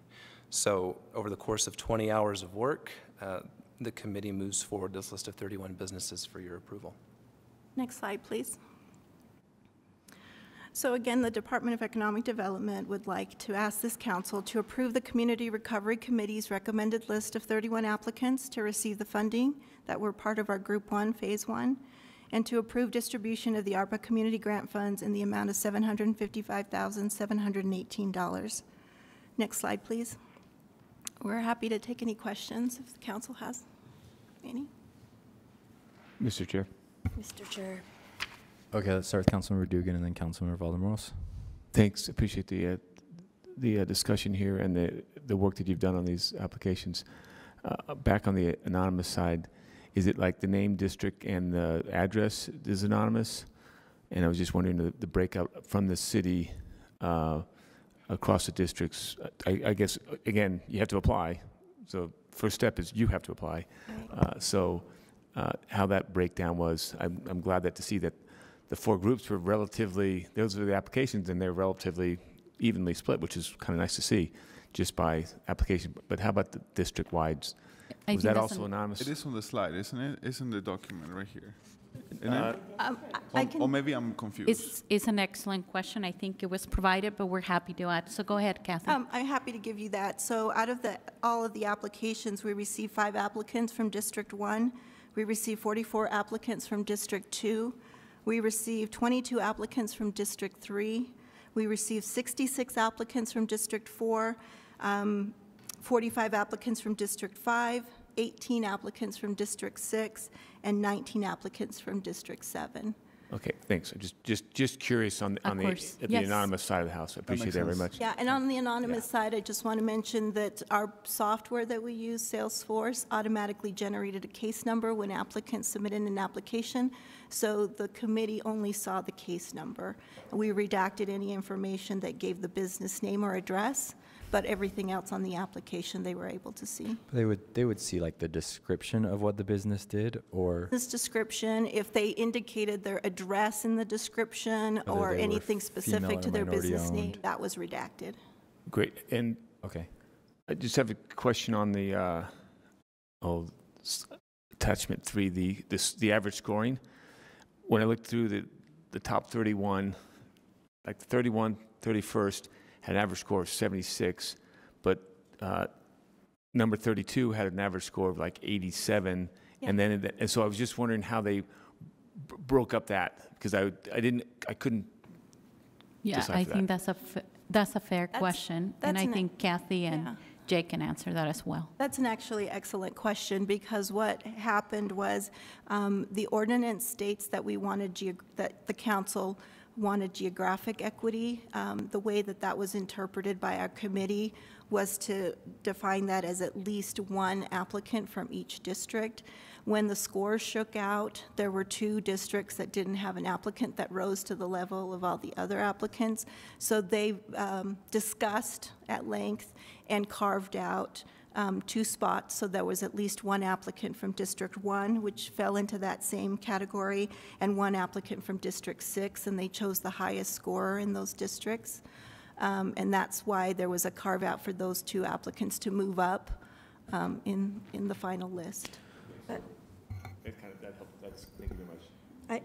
I, I, I still don't I- I yeah, fully understand that because there's more than just one. There's like, you have a bunch of 80s, a bunch of 70s, and, and the cutout here for the 31 was 76%. Yeah, so I'll 76. explain that. So a little further down in the list, you'll see three applicants that scored in the 80s.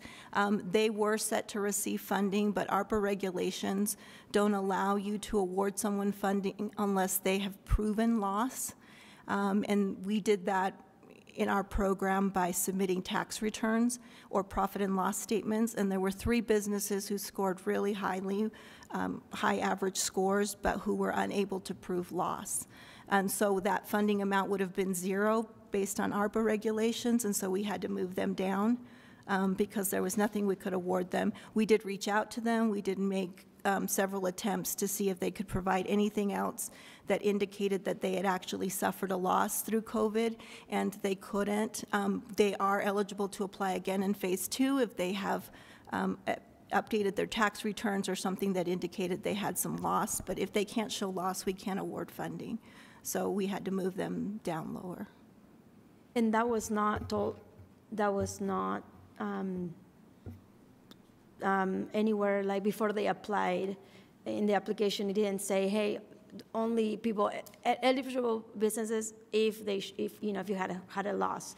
If you didn't have a loss, then don't apply because we're trying to help the ones that actually did have a loss. Yeah, it was very well mentioned in all of our training and in all of our materials and on our website, and we even discussed one-on-one with those particular applicants.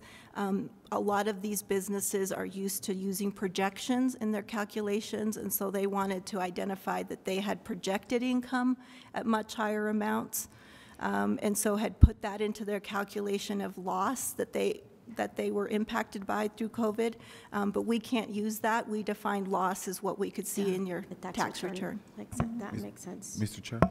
Yeah, Councilor Puy. Oh, But I'm Oh, not no, done no, yet. Oh, I'm not done yet, okay, sorry. go ahead, Councilor. I'm sorry. Yeah, so um, I, I had a proposal because I, I don't know if it's a proposal, but I would like to this, at least understand, I mean, I'm not a super fan, like the, the funnest, uh, the greatest fan of the sliding scale, because the differences between the ask and what they didn't get, it makes it complicated to me. So, like, there are, um, there are some applications that they requested $50,000, but now we're giving them 45, 815, you know?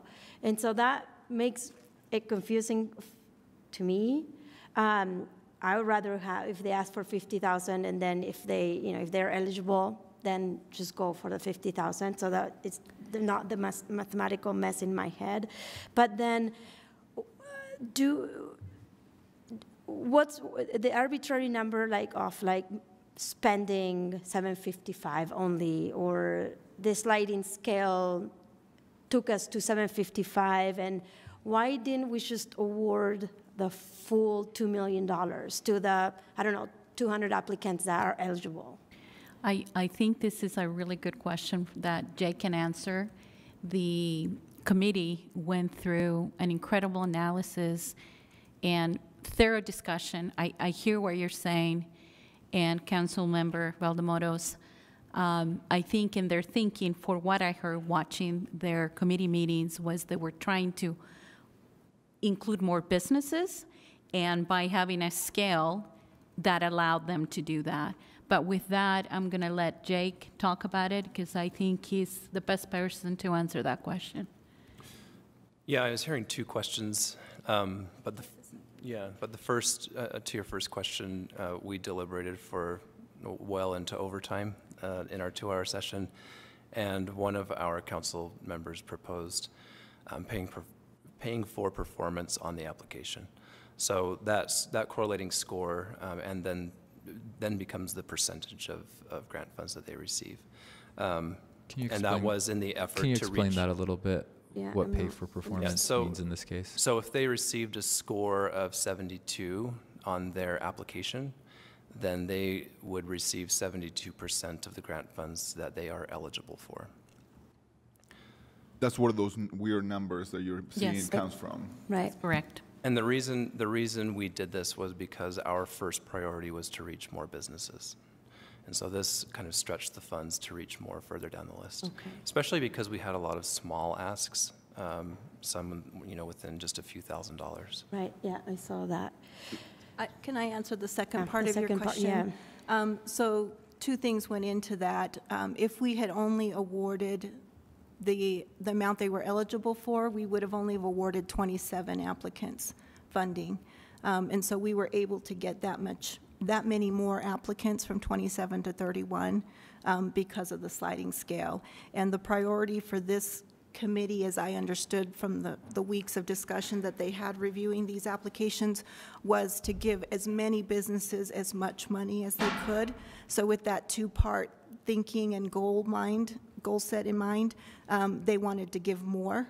Um, And then the direction that staff had from the committee as to why the arbitrary number is 755, um, we had this Phase Two approach, Phase One and Phase Two approach, because we wanted to um, be as equitable as we could, and we understand that some small businesses are so busy engaging in keeping their business open that they might not have time to either apply or hear about this, and we wanted to give as many businesses who needed this funding opportunities to apply. And so we we got some money out fast in this process in September, but we also wanted those who heard about it later to not feel as though they missed out.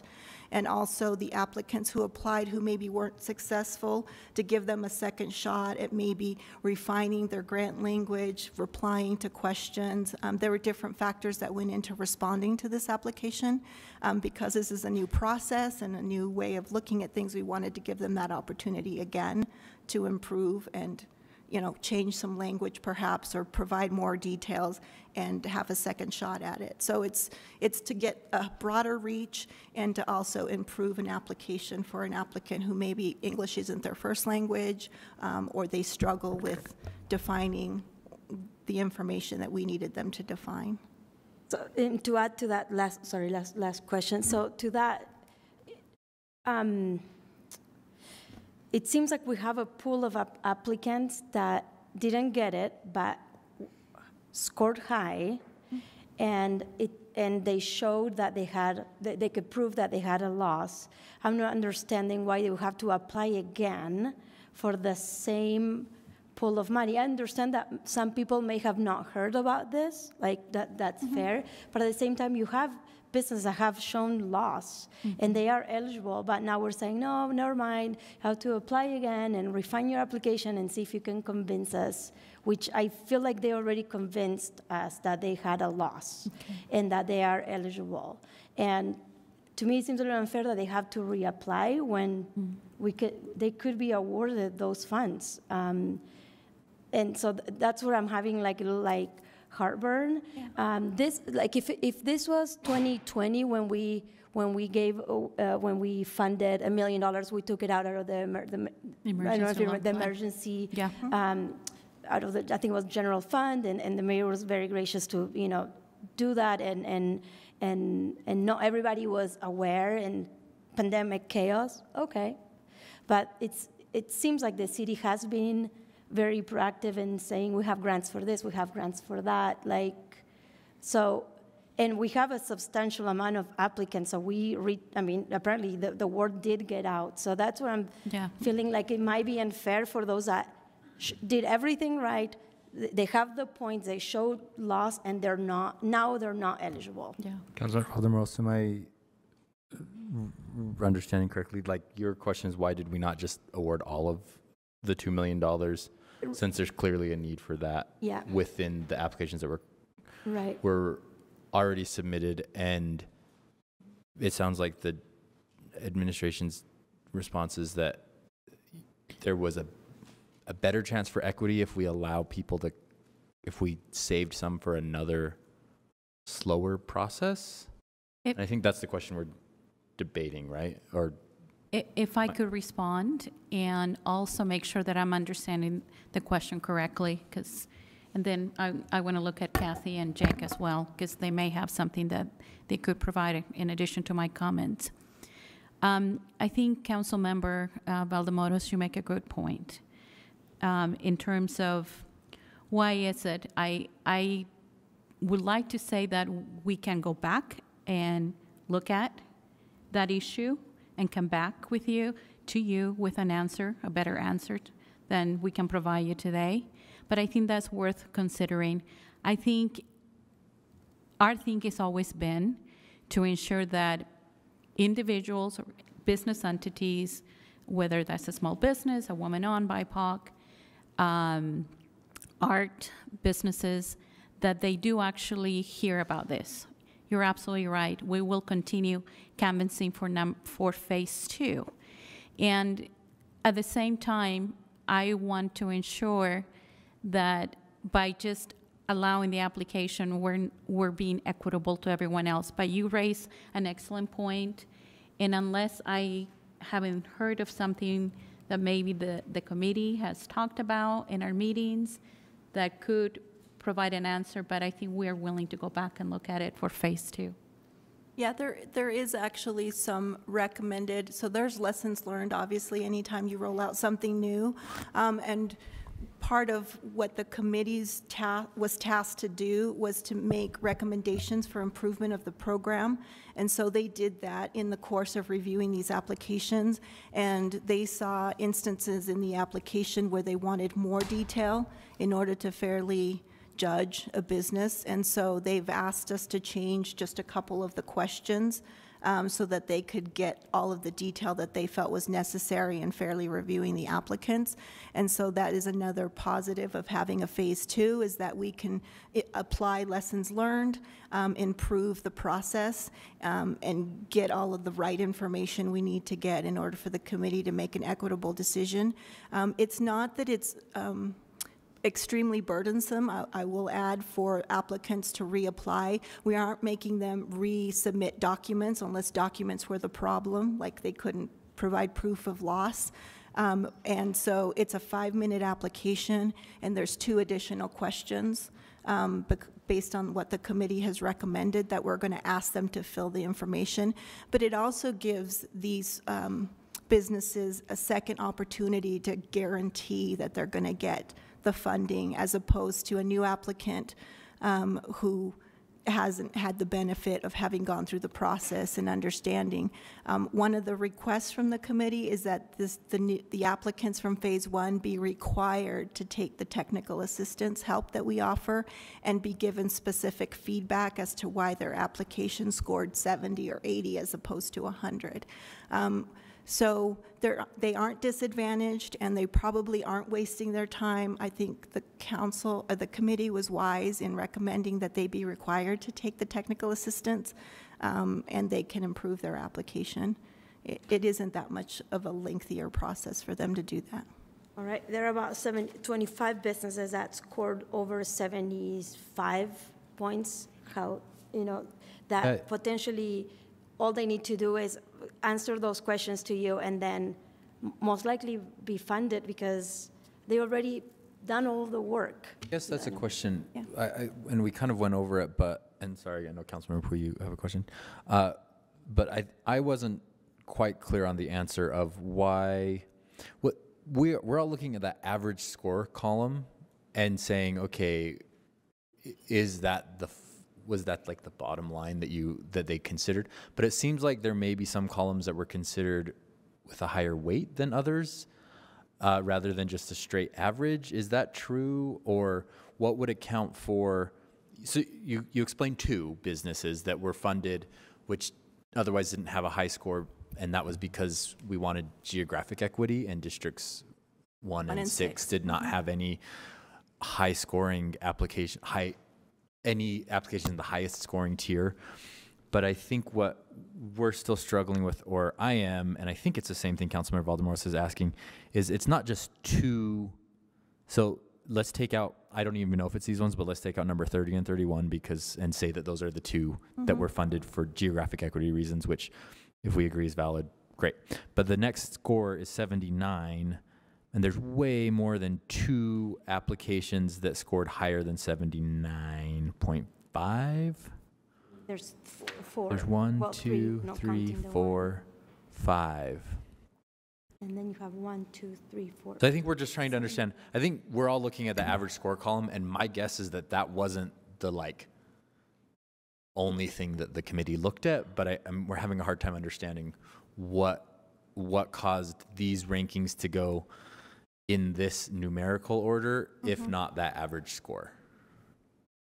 Does that is that I, I think I understand your question, and there should be three. I'm not sure why there's a fourth, but there should be three businesses who scored higher than the, the lowest average, not counting the bottom two that were carve-outs. So those two would have jumped up over many others because of Sure. being the only ones. But there were three applicants that we, I, don't think there were four. I, I know for sure that there were three applicants who had um, zero under eligible funding. And so they were bumped down because of that. So they scored in the high 80s, but That's they were not eligible to receive any funding because they couldn't prove any loss.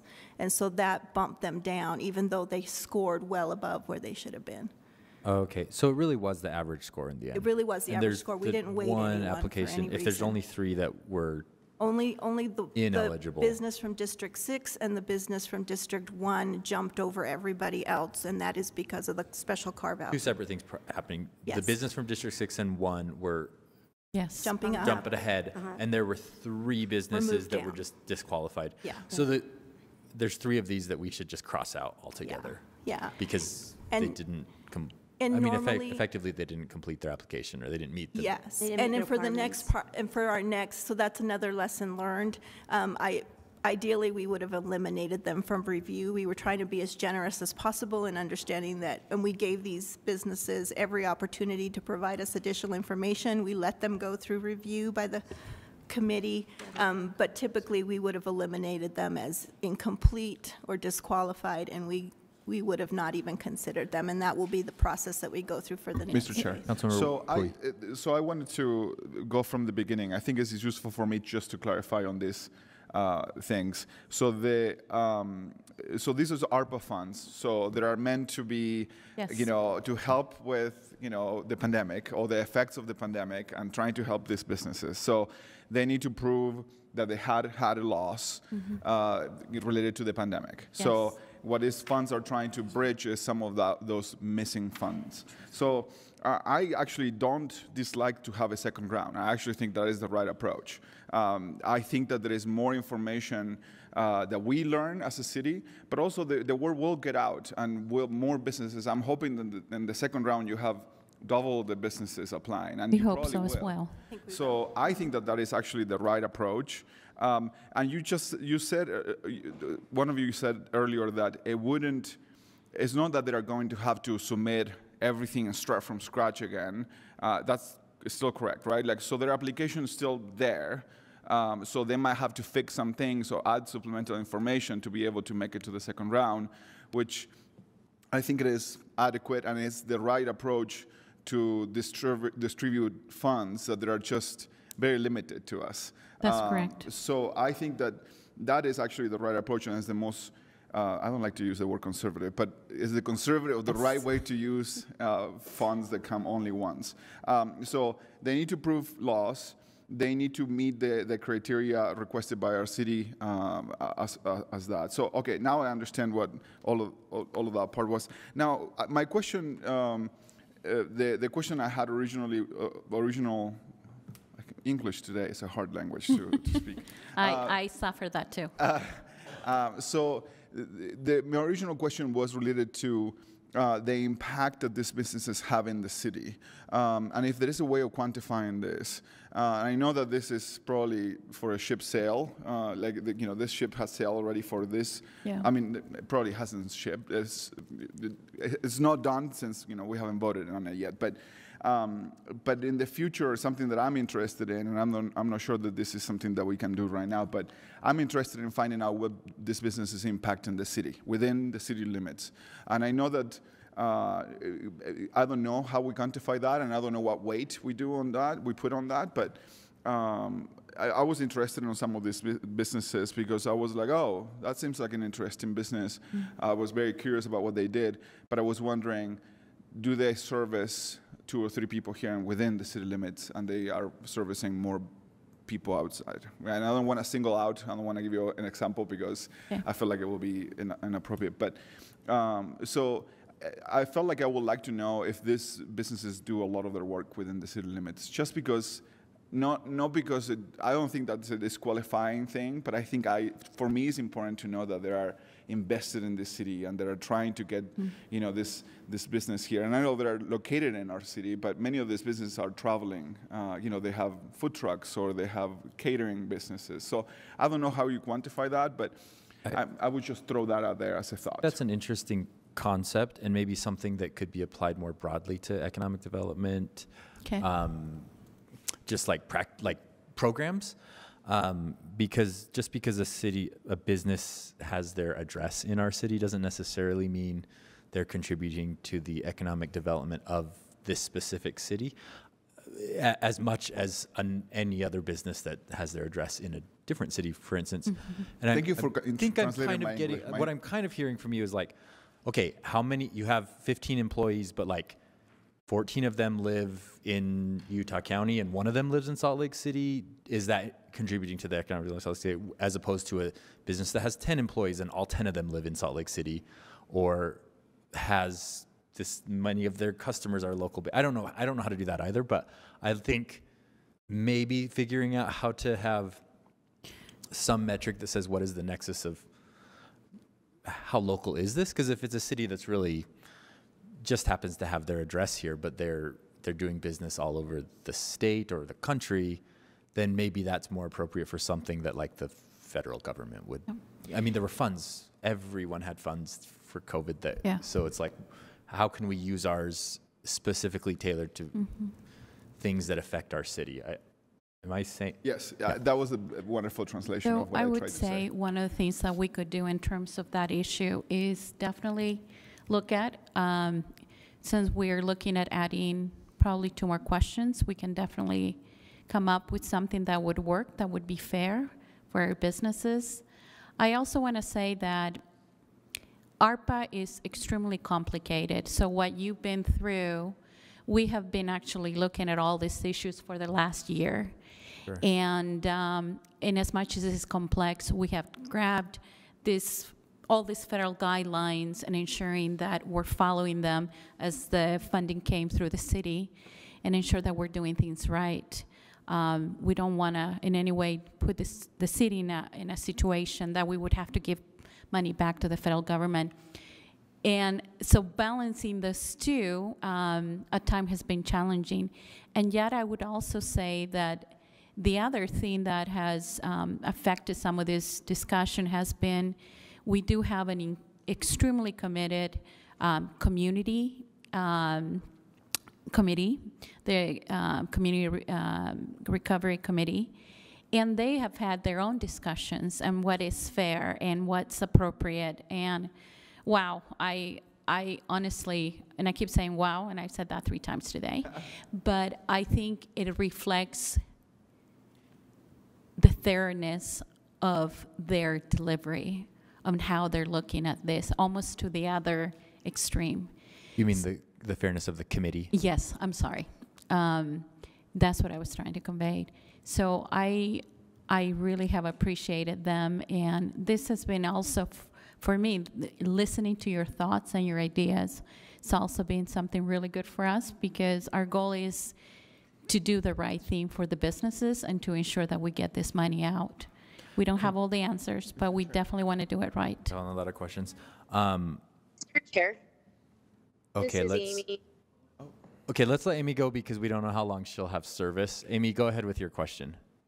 Thank you. I just, it's not really a question, but I did want to comment on um, some, the things that Ana and Alejandro talked about.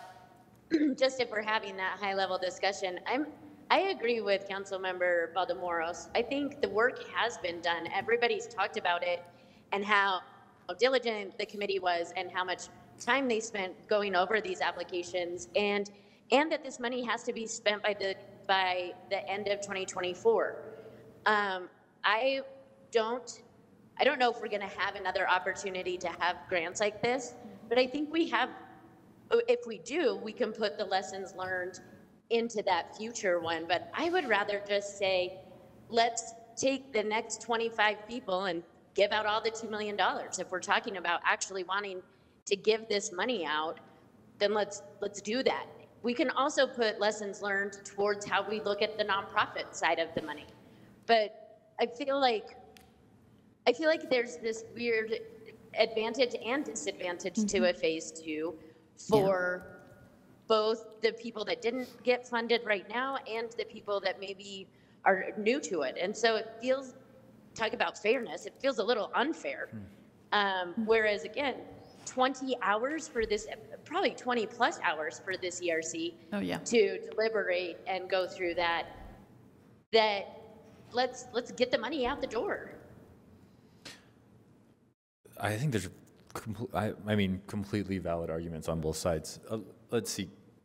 He, he- he can go first, it's fine, and then I can Councilmember go. Dugan's been asking, Oh, he's- Yeah. then Puy, and then And me. okay. Valdemoros. Okay.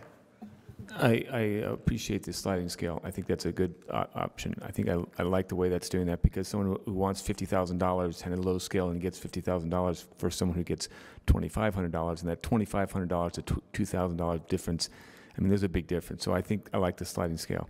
Uh, as far as the, the minimum size grant, there's a question about that. You know, we didn't really set one here. Your lowest one was twenty-five hundred dollars. I don't really think we could kind of set one anymore, uh, but just for future things. But uh, I appreciate that uh, we didn't have a minimum because some of those smaller ones who only need $1,000, that could be the leap that keeps them in business. Yes, Thank you. thank you. Councilmember Puy. So uh, what I hope that we are, that this is done uh, that we, that we learn on the next phase, if there is one, um, is that we do more equity. Uh, you know, w- we set up some goals about finding businesses in other parts of the of the city that we haven't found businesses. I mean, the fact that we are funding 11 businesses, or you know, the, the proposal is funding for 11 businesses in District 5, um, you know, seven in District 4, but only one in District 1, you know, and four only in District 2, uh, and only one in District 6. I mean, I feel like there is an equity issue here um, that we could readdress, and I think having a second round will allow us. If those applicants are not pushed back in the line, they don't have to do the work again. I don't see, yes, I, I do see that missing time as a big deal for businesses, but I also would like to see more than just a handful of businesses in District 2. I know there is more than four businesses in my district that will need this money. I know. Um, so um, I, that's, what, that's what I come from on, on the second. I think that is a good example of how this second round could help us um, without disadvantaging those businesses that apply, but they need a little help to get through. Mhm. Um, because if not, why do we create it? Why, why, why, why did this city created a you know a standardization or created a, some sort of sort of rubric to this, uh, you know, to give these funds when then we're not going to follow the rubric and just give this, you know, just give the money to everybody without um, addressing some of the issues. So I feel like we need to give, um, we need to stick to the to this plan. And I understand the other side too. I actually don't disagree with it completely. I I, I don't at all. But I think there is more businesses that could serve, uh, you know, they could this money could be affecting. We just need to like give it a little time. When when is the second round plan, planning for the second round? We're waiting for this to be approved so we can put that out. Wh- When will the the this Um, stage come in for the Um, next one? Phase two, we're hoping mid-March, if everything is approved. Can I ask a question of maybe Ben or Cindy or Katie? The, is it within our purview as the council to say, just put $2 million out to whoever scored the highest? C- Could we do that? You could. So we could say that, and, and the arguments may be, we believe the process that was done, and I know this is different than what you're saying. We, we believe the process that was done was good. We believe the applicant, that the word did get out enough. Um, I think another argument could be, you all, your time is very valuable, and so are the volunteers that helped score all of these, and so we, there's no lack of things we need you all to be doing to support businesses and organizations. So if we were to just put it all out the door now, according to this, what feels like a pretty rigorous Right. process, then we could move on to the next thing that we need you to do with the equal, with these lessons learned. I, I can see both. Uh, I also can see how, um, you know, it's not a small number of dollars. It, it's a lot of money, and for certain businesses, it could be the difference between staying between the next payroll being made or not. Um, and so, if the committee who we've entrusted with this, and I, and I, I want to say, I think I really like how we chose the committee, and I, I think the makeup of the committee really matched what our intention was for who we wanted to be like in, able to decide that. So if they're saying that we don't really like this process, I, I'm putting words in their mouth, but what I'm hearing is like we thought the process was good, but we didn't think it was perfect, and we think we can do better in a second round. Mhm. I, I also want, I don't want to ignore that entirely. Councilor Uh, Dugan? You know, we have tentative actions at our next meeting, March 7th. We can decide on these 31, get them out the door. The application process for the, the, the sec- people that applied the first time, as Kathy stated, five minutes. They've already done the app, they've already done all the work.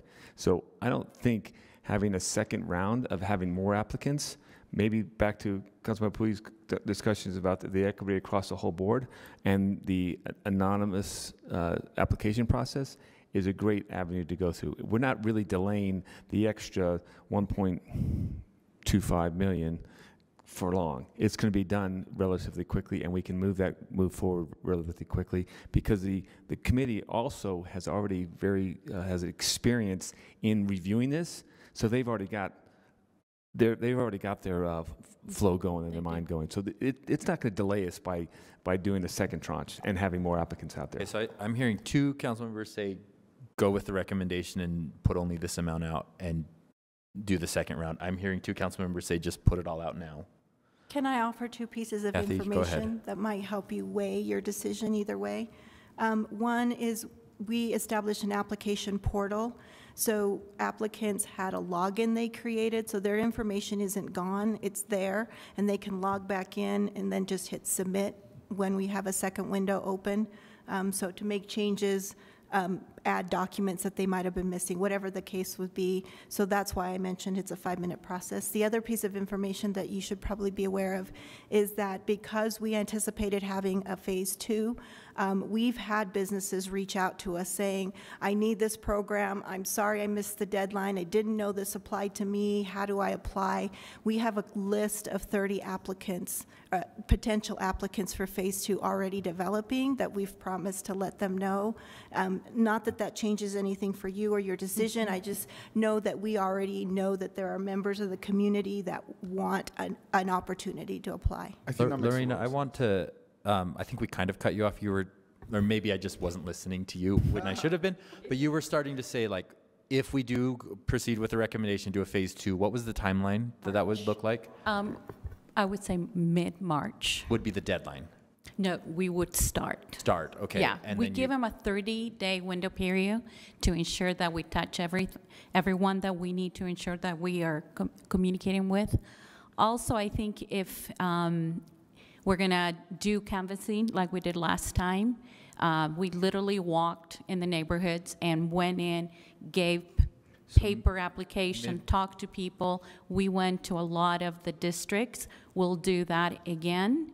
But I also want to offer that if, if you decide to do a phase two, we would love to give you some information you can also add on your newsletter or your landing page. It would be great for us So to have your help. mid-March would be when it starts, mid-April would be when it closes. And then we could potentially be looking at the decision from the committee and our next vote on the final 1.25 The end of May? End of May. It- Depending on the number of applicants, it's about a two-month process for the committee to review because of the number of Okay, so applicants. June. So So we think June. So this is like be- after budget season, we're going to get back to this. Sure. Uh, Just one, just one additional comment on the, so that the applicants that are at the, just m- missed the cut, you know, the, the second application process, they could tweak their application, they also could get, instead of scoring 79, they score 89, and they get an extra 10% on top of what they want. So there is, a- there is a bonus for that, s- that second process for some of them, the application process. I'm just, Um, I'm just throwing that out Okay, there. My worry right now is if we don't do a second phase, what happens with those 30 businesses that start an application or they have interest on, on doing this? And I, I think that we, I would like to stick to the plan. It doesn't hurt those businesses that didn't get it this time. It- it- it- By hurting, I mean, I know that waiting a few months, it might still hurt, but I think we need to give the, the, the chance to all of those new businesses and those applications to be per- better. Okay, so, And I'm, I never. Councilmember I Waldemar. Okay, thank you.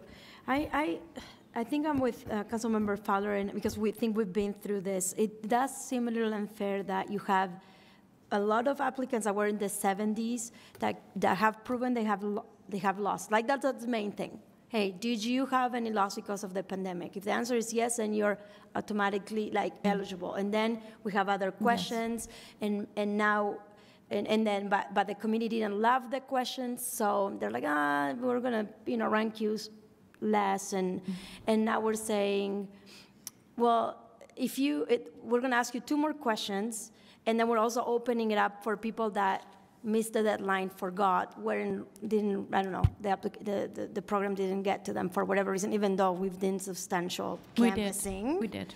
Uh, and now we're telling these people, like, well, you know, you might have somebody that has a better application than you. We might like their explanation better. Um, so sorry, for, you know, sorry. Like you did experience loss of, but we, we don't we don't like the way you applied or what you said in your application. That's my that's my my heartburn here because they've done the work. Mm-hmm. So maybe I would be I would be happy with a phase two because of the 30 that or more that might want to apply. But maybe we do give priority to the ones in the high 70s. You know, if they answer the questions, the two new questions correctly, and it, it's of the like of the committee because now the wording is going to be perfect, and then they have the, the information that they need. That we kind of reward those that they already went through this process and they did apply on time, and So reapplicants get scored more favorably Right. in some way. In don't know some way. I, take it in. I, I'll feel, I'll feel more comfortable with that, and I feel it's more fair to them. So is, it- so I, just to clarif- clarify, is the process uh, uh, where the board scores these uh, businesses, it's not just we like your, bu- you I- this is a good question. Yeah, can you clarify how you score? Because, because how do you score this different? Because it's, it's just, I, I mean, I'm not privy to this, so I will help me. It's not like we like them or not, right? Yeah. Go ahead, Jake. So, so the first sticking point is completeness. Um, some people just simply provided a very brief explanation, so they scored low.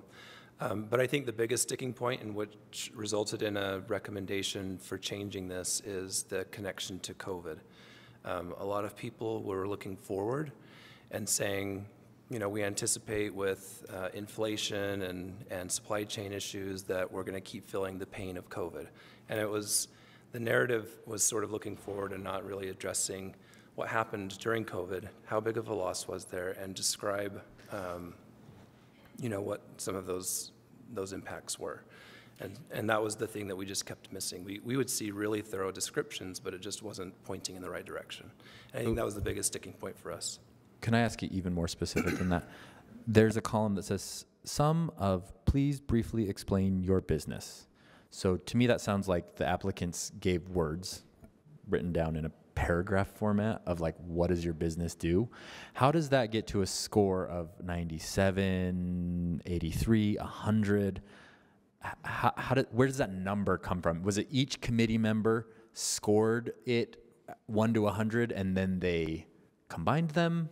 So that wasn't a question that was scored unless there was some specific information given in that um, that related back to COVID. So the committee decided in a totality. So the way that the scores actually broke down is there were three narrative questions that dealt with how a business um, was impacted by COVID that had to do with past, present, and future. So how did they, how were they impacted in the past at the time the pandemic happened? Um, and the closures potentially happened to their business. How were they impacted? Did they communicate that in a way that was um, you know, high scoring enough for the committee. The second weighted score was um, how was their plan for now? How are they dealing with what issues remain to their business? And that's a narrative as well. And then the third question had to do with how, based on what they've said, how does that, um, how are they dealing with that in their budget? So how are they going to allocate these funds to help them, to make them whole from those past impacts? And so those were 60% of the scores were based on those questions. Now, some businesses were not great at describing how COVID affected them, so they may have said in the introduction of the business, you know, we're an entertainment business that can't be open during COVID. You know, the, we were impacted in their description. And so that was weighted for the committee. They accepted the totality of all the answers to help them determine the three narrative um, sections that were really the greatest part of the scoring. I think that I was asking a different question. Okay. there is a column with very with different numbers in it for each business. How did that number get assigned to that business? Was it each individual committee member just scored it and it was averaged and that's the number I'm seeing here? Or was there like some computer that came up and said, you get a 92? Like, how, how did the number get to, onto this paper? We didn't have AI, that's for sure. um, I want to make sure we're looking at the right column so we're answering correctly. Um, because I don't want to, obviously, we didn't answer the right question. Yeah, I'm not. So if Well, you give I'm us a looking at second, we attachment can. three. Hey, Scott, could you put attachment three on the shared screen? This. All, all the applications, yeah. Yeah, I'm looking. Maybe we have AI in the house, just let's kidding. just let's just start with the like the first number one, business number one And could you zoom in a little bit? Yeah. has. There's like s- one, two, three, Thank you, Scott. eight columns plus a total, an average, and a record count, which I don't understand what that is either. But how, where does this number come from? It was a, it was like a the committees used their judgment to give a score to it, right? Which number or which column or all Any of of them, One, any two. column. Okay, So thank you. basically, the committee had, um, there were three main questions Thank that asked, that were the highest scored, so you could say they were weighted the most. That was the, the narratives. Then they had a bunch of questions that they could score like a, a zero or a five, like how were, how did the business adequately explain this? And so they could score those. How we arrived at the average was we accumulated a total of 100 points um, based on all of the questions, and, and then we averaged that based on how many committee members actually scored. Right, because we didn't, some committee members were recused um, because they knew the business. They could suss out who the business was, and so the average was different. It was doing what you were saying, right? Like, so people were scoring it, then they average it out. They heard enough in the description of the business that they absolutely thought that they knew who this business was. They asked to recuse Okay. themselves. And so they did so, and that's why not every applicant was scored by all seven committee members. That's what the record count means. Right. Okay, That's the record. great. That's helpful.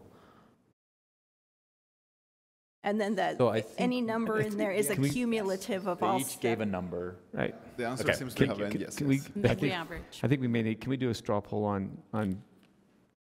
Thank you. Go ahead, propose a straw poll. I'm- I, I, I propose that we uh, continue with, we'll look at this one uh, on March 7th, and we go to a phase two shortly after that, as, as they have planned. So you propose that we accept the recommendation? Accept the recommendations and have, a- and have a phase two, yes. I want, Okay, any discussion on that straw poll? I want the friendly amendment of giving priority to the ones that scored in the 70s that have, that are almost there, but we have, they have to answer two more questions that are good enough for the committee. Could I discuss? Yeah, go ahead. I'd like to, a discussion point. Yeah, so c- could we, instead of um, just telling them to prioritize those businesses, which I think it, I mean, I would prefer that we ask you to, for a way of, uh, you know, give us an answer about how you're going to deal with those, those applications, those applications that we're not funding. I think that is how I feel comfortable with that amendment. I just don't want to seem unfair also um, to those 30 some. Um, but I also noticing that we are concerned about those people that didn't get funded and we want to address that. So maybe ask you guys to come up with something. We, we can come back or we can respond in writing. Writing, And fine. see if you're I'm happy comfortable. with that. Okay, so that's my straw So- poll. Okay, so the straw poll is, we, we go forward with the re- recommendation with a request from this team for how they could consider whether or not the business has applied before.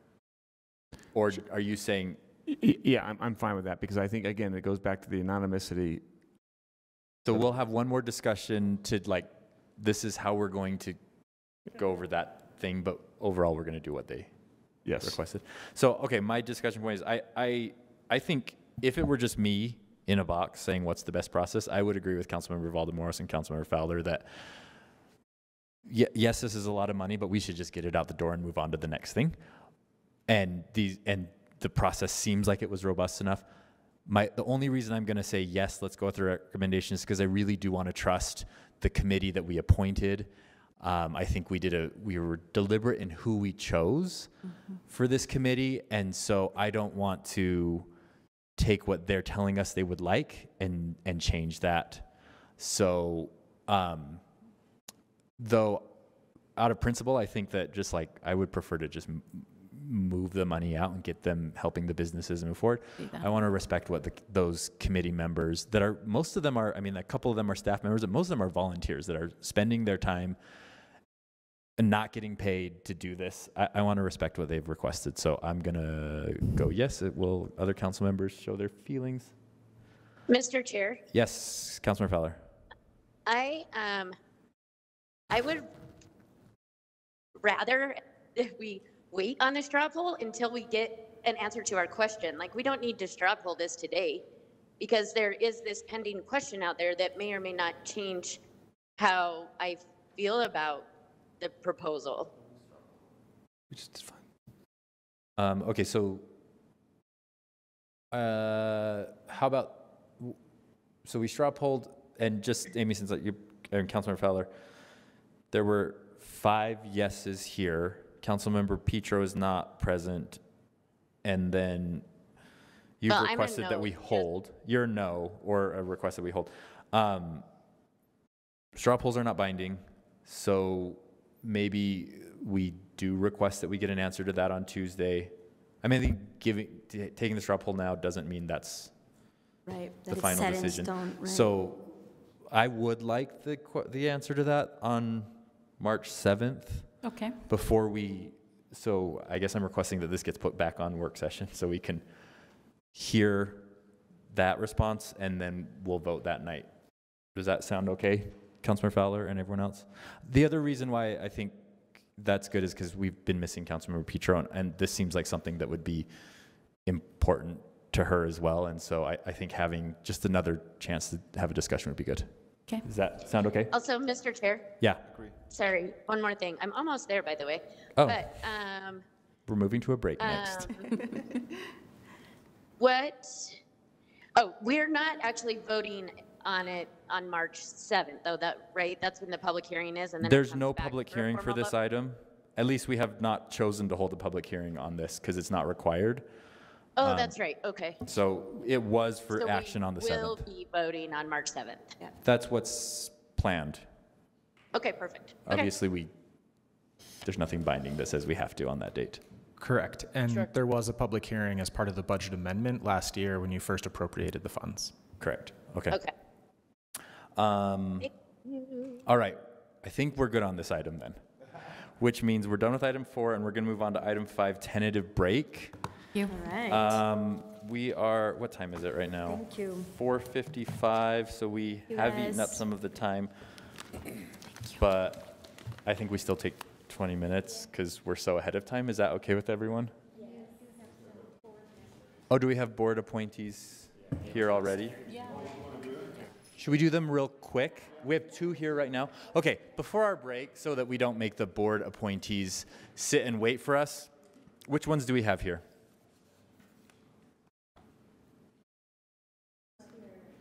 So- This is just going to be how we do it this year. We're moving all around the agenda. Mr. Chair, it's all board appointees are present. All board appoint, okay, great. Let's just do those so that we do not have to make the three board appointees Yeah, uh, wait. wait any longer. So we're moving on to items number eight, nine, and 10. Those are board appointees, two of them for the Arts, Ca- Arts Council and one for the Transportation Advisory Board. Let's just go in the order of the agenda and start with Jeff Driggs, who is uh, being recommended by the mayor for appointment to the Arts Council. Um, is Good that you, Mr. Driggs, online? Yes. Great. So just give us a qu- quick introduction. Don't need to go into your whole history, but just what your why you're interested in this board, why you're willing to volunteer your time with the city and to help your community, and um, and the council members may or may not have questions, but go ahead. Certainly, thank you. I am a development officer, a fundraiser at Westminster College, and I've been in uh, fundraising professionally in higher education my entire career. Um, I am also on the board of trustees of the Off-Broadway Theater, which for 25 years operated in downtown Salt Lake City, but uh, a few years ago, uh, we lost our lease and we're now operating in Draper. But I've been involved with um, the performing arts for my entire life, and uh, the Off-Broadway Theater benefited from the Salt Lake City Arts Council grants, and now, of course, they don't qualify, being in Draper, but um, I live in Salt Lake City, and I feel like it's, it's time for me to, to give back and contribute to the arts and, and provide what expertise I can from my work as a development officer. Thank you, Mr. Driggs. Council members, any questions? Okay, go Griffins. Thank you. Um, so, uh, Jeff, you do not need to come to our formal board appointment, but your your official um, confirmation to the board will be during our our uh, consent agenda tonight. Um, but no news is good news, and if you hear nothing, assume that you have been appointed. Thank you. All right. All right, thank you very Jeff. much. Um, the next is Matthew Coles, also recommended for appointment to the Arts Council. Matthew, are you here with us virtually? I s- Yes. you heard the instructions, or do you? Yes. Okay, Yeah, go ahead. I'd just like to, to say thank you for, for your services on, on the council. I've lived in Salt Lake City almost all my life, and I've operated a, a business in Salt Lake City for over 20 years. We do uh, design and, and web development, and it's called Modelic. It first started as a graphic design business called Contact Design. So I'm often affiliated with, with artists of all types, and sometimes they're clients, and sometimes um, there's, they are people we support or groups that we support. And so um, I heard that we had no representation on the Arts Council Board from District 7, where I live. And so I thought at this time in my life, um, my boys have both graduated from college, and I just have a eight-year-old former foster son that stays with us, so I have some time to uh, give back and hopefully help broaden uh, engagement with the arts in Salt Lake City and and help bolster um, what the city can do to make it a, a vibrant part of our lives, which I think is important for all of us to have the arts as part of our lives. Thank you, Mr. Coles. Council members, any questions? Thank you for your willingness to serve Salt Lake City. You'll be confirmed during our consent agenda tonight. All right, thank you so much. All right, the last board appointee is Justice Morath, um, recommended for appointment to the Transportation Advisory Board. Justice, are you with us?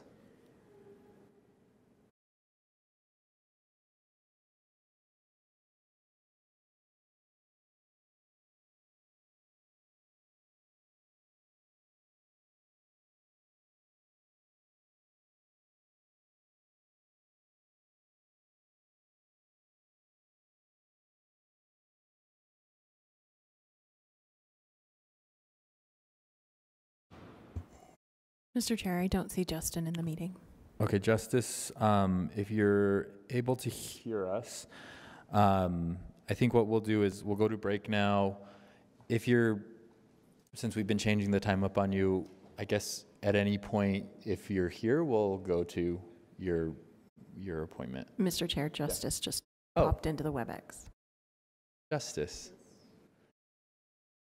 Yeah, sorry, my, my internet burped on me right at the worst possible time. At the worst possible time. Okay, Justice, the, um, so you're, you've been recommended for appointment to the Transportation Advisory Board. Just give us a brief introduction to who you are and why you're interested in transportation and uh, why you're willing to spend your free time with the city.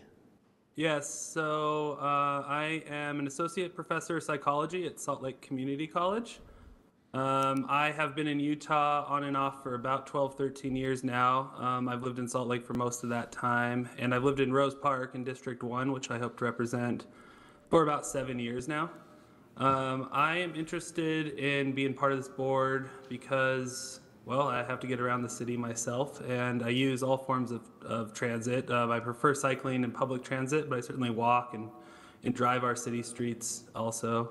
Um, I do have some experience doing this. I was on the Durango, Colorado's uh, Transit Advisory Board uh, way back in about 2005 and 2006. Uh, and so when I found out that uh, we needed someone to represent our district, I decided this would be a great way to, to get involved. Great. Thank you, Justice. Council members, any questions? Thank you for being willing to serve Salt Lake City on the Transportation Advisory Board. You'll be confirmed during our consent agenda tonight, but you do not need to attend in order to be confirmed. Great, thank you very much. Thank you. Have a good afternoon. All right, so now we are moving to our break, after which we only have one item left. Is that correct? Yes, you have that one item, and then you have the possibility of a closed session. Potential closed session. And we're just confirming whether that's going to work for tonight or not. Okay, let's take a break because I need a break, and then we'll come back at let's say 5:20. It's 5:03 right now. Does that work? Okay, 5:20.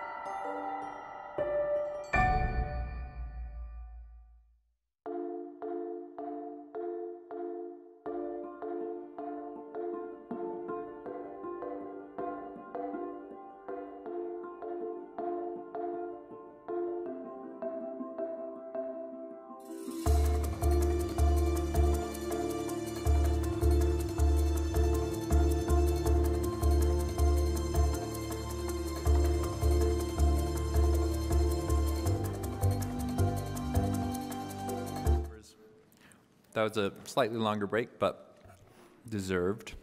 We are moving on to item number six on our agenda, which is authorizing the execution of an interlocal agreement in order to transfer a MITS vehicle to West Valley. And Sylvia Richards, Council Policy Analyst, is online to give us an introduction to this item. And then I don't see them, maybe they're online, but Michael Fox, um, Assistant Chief of Administration, Gary Carter, Captain, and Jason Oldroyd, City Senior Attorney, are theoretically available. Go ahead, Sylvia. Thank you, Mr. Chair. The fire department, um, through a grant, received two MITS vehicles. MITS stands for Mobile Interoperable Tactical Solution Vehicles, which are used in emergencies and other operations. Um, the vehicles were owned and maintained and operated by the city, and the grant funding has been terminated and the members of the, of the grant have now become responsible for the maintenance of those vehicles. In 2012, one was transferred to the Unified Fire Authority. Um, the proposal, as you mentioned before the council, is whether the council would authorize the execution of an interlocal agreement to transfer the, the second vehicle to West Valley City. And I'd be happy to turn the rest of the time over for questions um, and or over to um, to Jason or um, Captain Carter if you're interested in uh, making comments or Assistant Chief Fox. Thank you. I see Chief Lieb on there. Chief Lieb, is there anyone from your department that wants to speak to this? Council, this is Chief Fox. I'm here. I just can't get my video to work. I apologize. No worries, we can hear you. Um, Um, do you, we do you want to go first, or should we have Jason Oldroyd from the Attorney's Office? Sure, I can wait for Jason to go. And then if you have any questions, I'm happy to answer them. Okay, great. Jason, why don't you give us any legal background to this issue that we may need?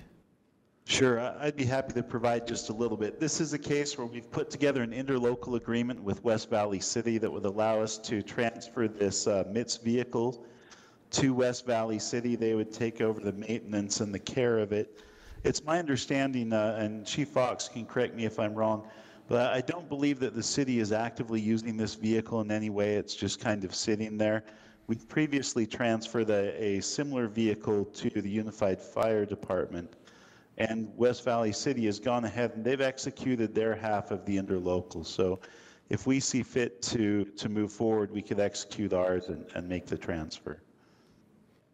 Great. Chief Fox? Uh, Cap, yeah, Chief Fox.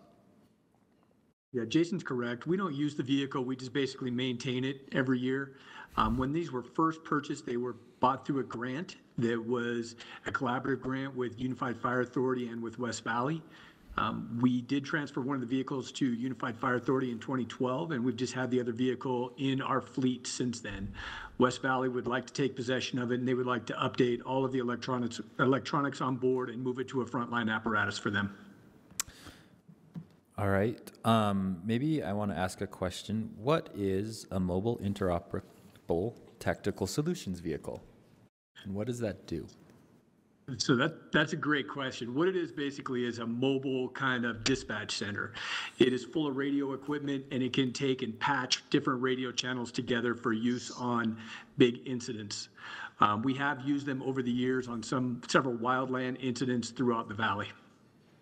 Um, so, okay, so it has been used. Do we have another one? Is it, is this a surplus one? Is that why we don't use it? Or why is this of value to West Valley and not to Salt Lake City residents? The the all of the electronics on it are outdated, and we are moving to the new radio system that will allow us to communicate a lot better with outside agencies. Um, West Valley does want to update the equipment on there and use it in their wildland program. Okay.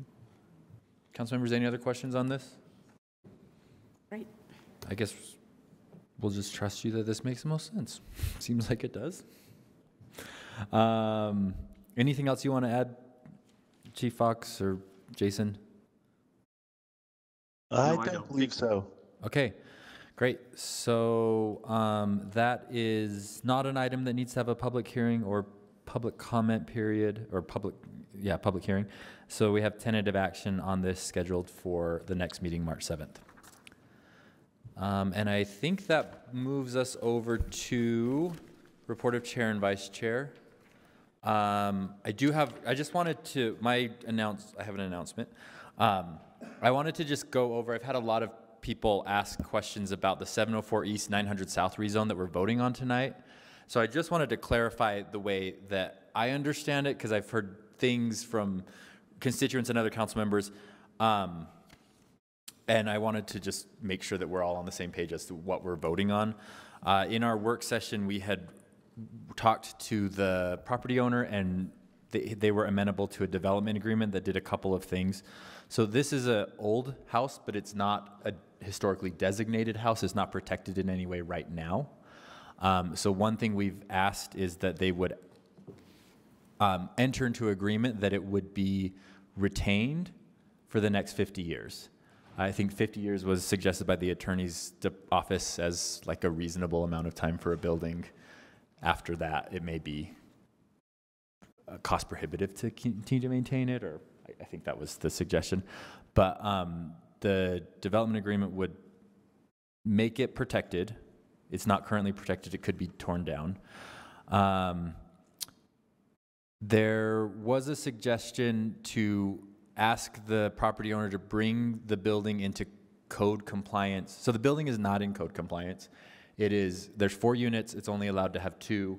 The four, four units that were created, to my understanding, were done outside of the typical process, and so there've been no safety inspections on that. So there was a suggestion by some, by, I think the public and some council members to require them to be brought into code compliance before we do the rezone, and I just wanted to clarify, that isn't possible because the building department cannot give a building permit or go in and inspect a four, four unit dwelling um, when that doesn't meet zoning. So there's no way that, right now, they, they cannot get a building permit to make their build, their units in compliance unless they were to go down to two units. So we would be asking them to remove two units and then we would consider allowing them to add those two units back in. So I think the decision is whether or not we want two units or four units there. Um, the proposed ordinance would also require that these be used for long-term leases, not short-term rentals. The base zoning that is being requested would allow short-term rentals, but the property owner, my understanding is, has been amenable to saying even though the zone we're asking for would allow it, we won't, we'll not use it for that. And that would be in perpetuity. Brian, do I have that correct?